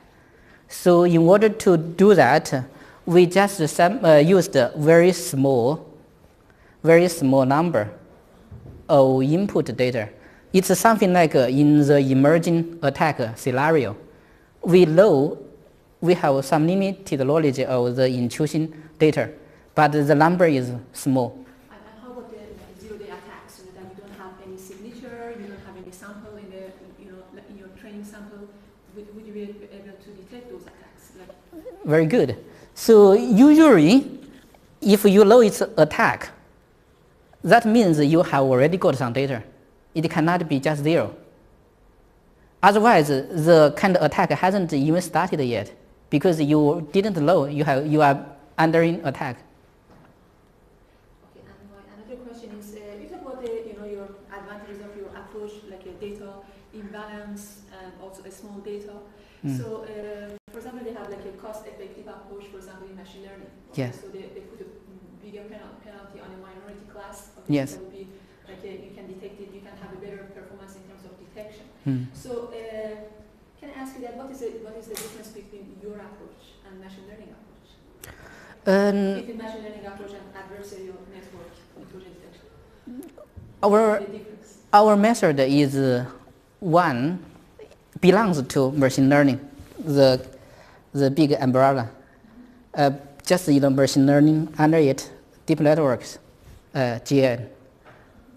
It is one example of machine learning approach. Yeah. And uh, what, what is the, your uh, strategy to select the uh, samples? You said that you randomly select, select some sample to train your, your model. What was your strategy to select that? So, sorry if I missed it. Just random. For example, yes, uh, for example, uh, use distributions just randomly, Randomly uh, select. uh, normal distribution. Okay. yeah. okay. Uh, thank you very much. Any questions? Yes.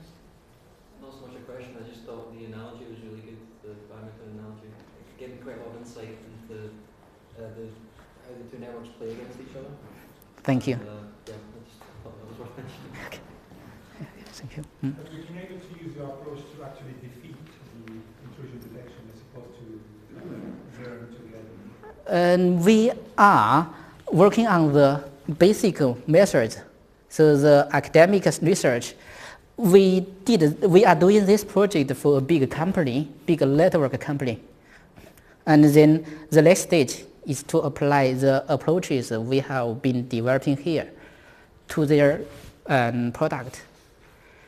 It hasn't been used into a real industry environment based on the test here with some, the KDD cup is, uh, is probably the most fundamental or most significant competition in the data science area, in the academic area. So I think if we are able to test our system in this uh, competition, it should be, pos- uh, be uh, possible to apply into a real world scenario. I mean, adversary here is, is, a, is a friendly adversary because you are using the adversary to basically enhance the, the defense uh, aspect of the intrusion detection. What I'm asking is that whether you manage to actually defeat the intrusion detection by using the adversary kind of to be superior to the defense. Uh, if I understand your question well, um, we, after the training, we don't use the generator. So the guy who is producing bad, don't- uh, bad things uh, is not used. Of course, we can use it, but we use the discriminator to do the kind of detection work. We can use that, yeah. Thank you very much. Any questions, guys? Thank you. Thank you very much. Thank you. You leave, paper in front of you, so I appreciate if you select presenter. And if you already presented, so you can select yourself as well. Uh, it's okay to select yourself. So it's only one, select only one, uh, you know, your favorite presentation. And so you can select your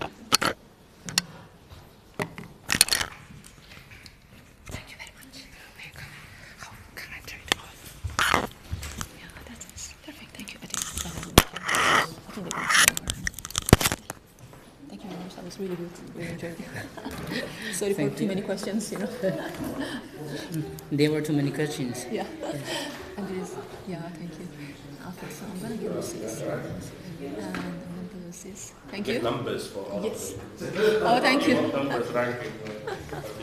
To decide on the numbers.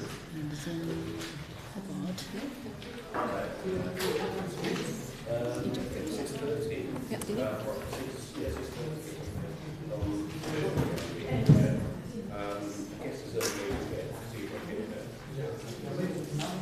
But I'll, I'll go down and talk to that. Maybe that's- Um, I'm going to change some expenses. Thank you very much. Exactly. Good. Yes. I'm gonna collect the papers because it's going to uh,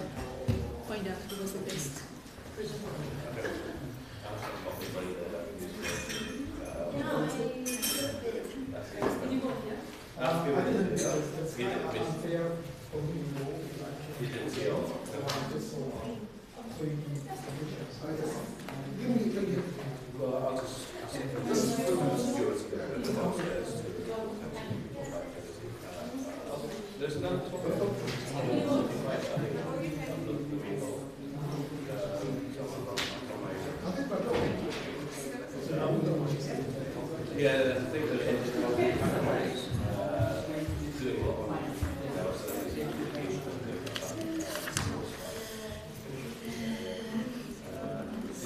Thank you. She used to be in my MSc. What's best? Can we, can we, are we, are we waiting? Are we going? Yes, you can. Uh, if you are You said there was a fee structure. Usually lifting. Ah, okay, you check your stuff off, then you get up. Yes. Well, it's, uh, and I'm originally from Indonesia, so I don't speak any Chinese. Indonesia, yes,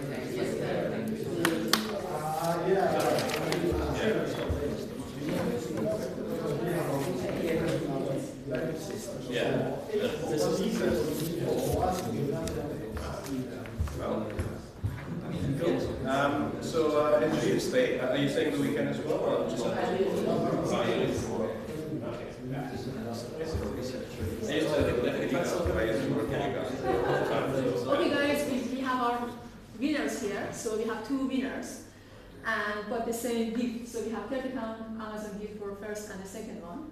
So uh, the first one. We're missing some people already. if they're not here, they don't claim it. uh, it's Sean McCool. So thank you very much. Be good if I can. Somebody can take a photo as well. As well. Thank you. Okay, cool with your jacket.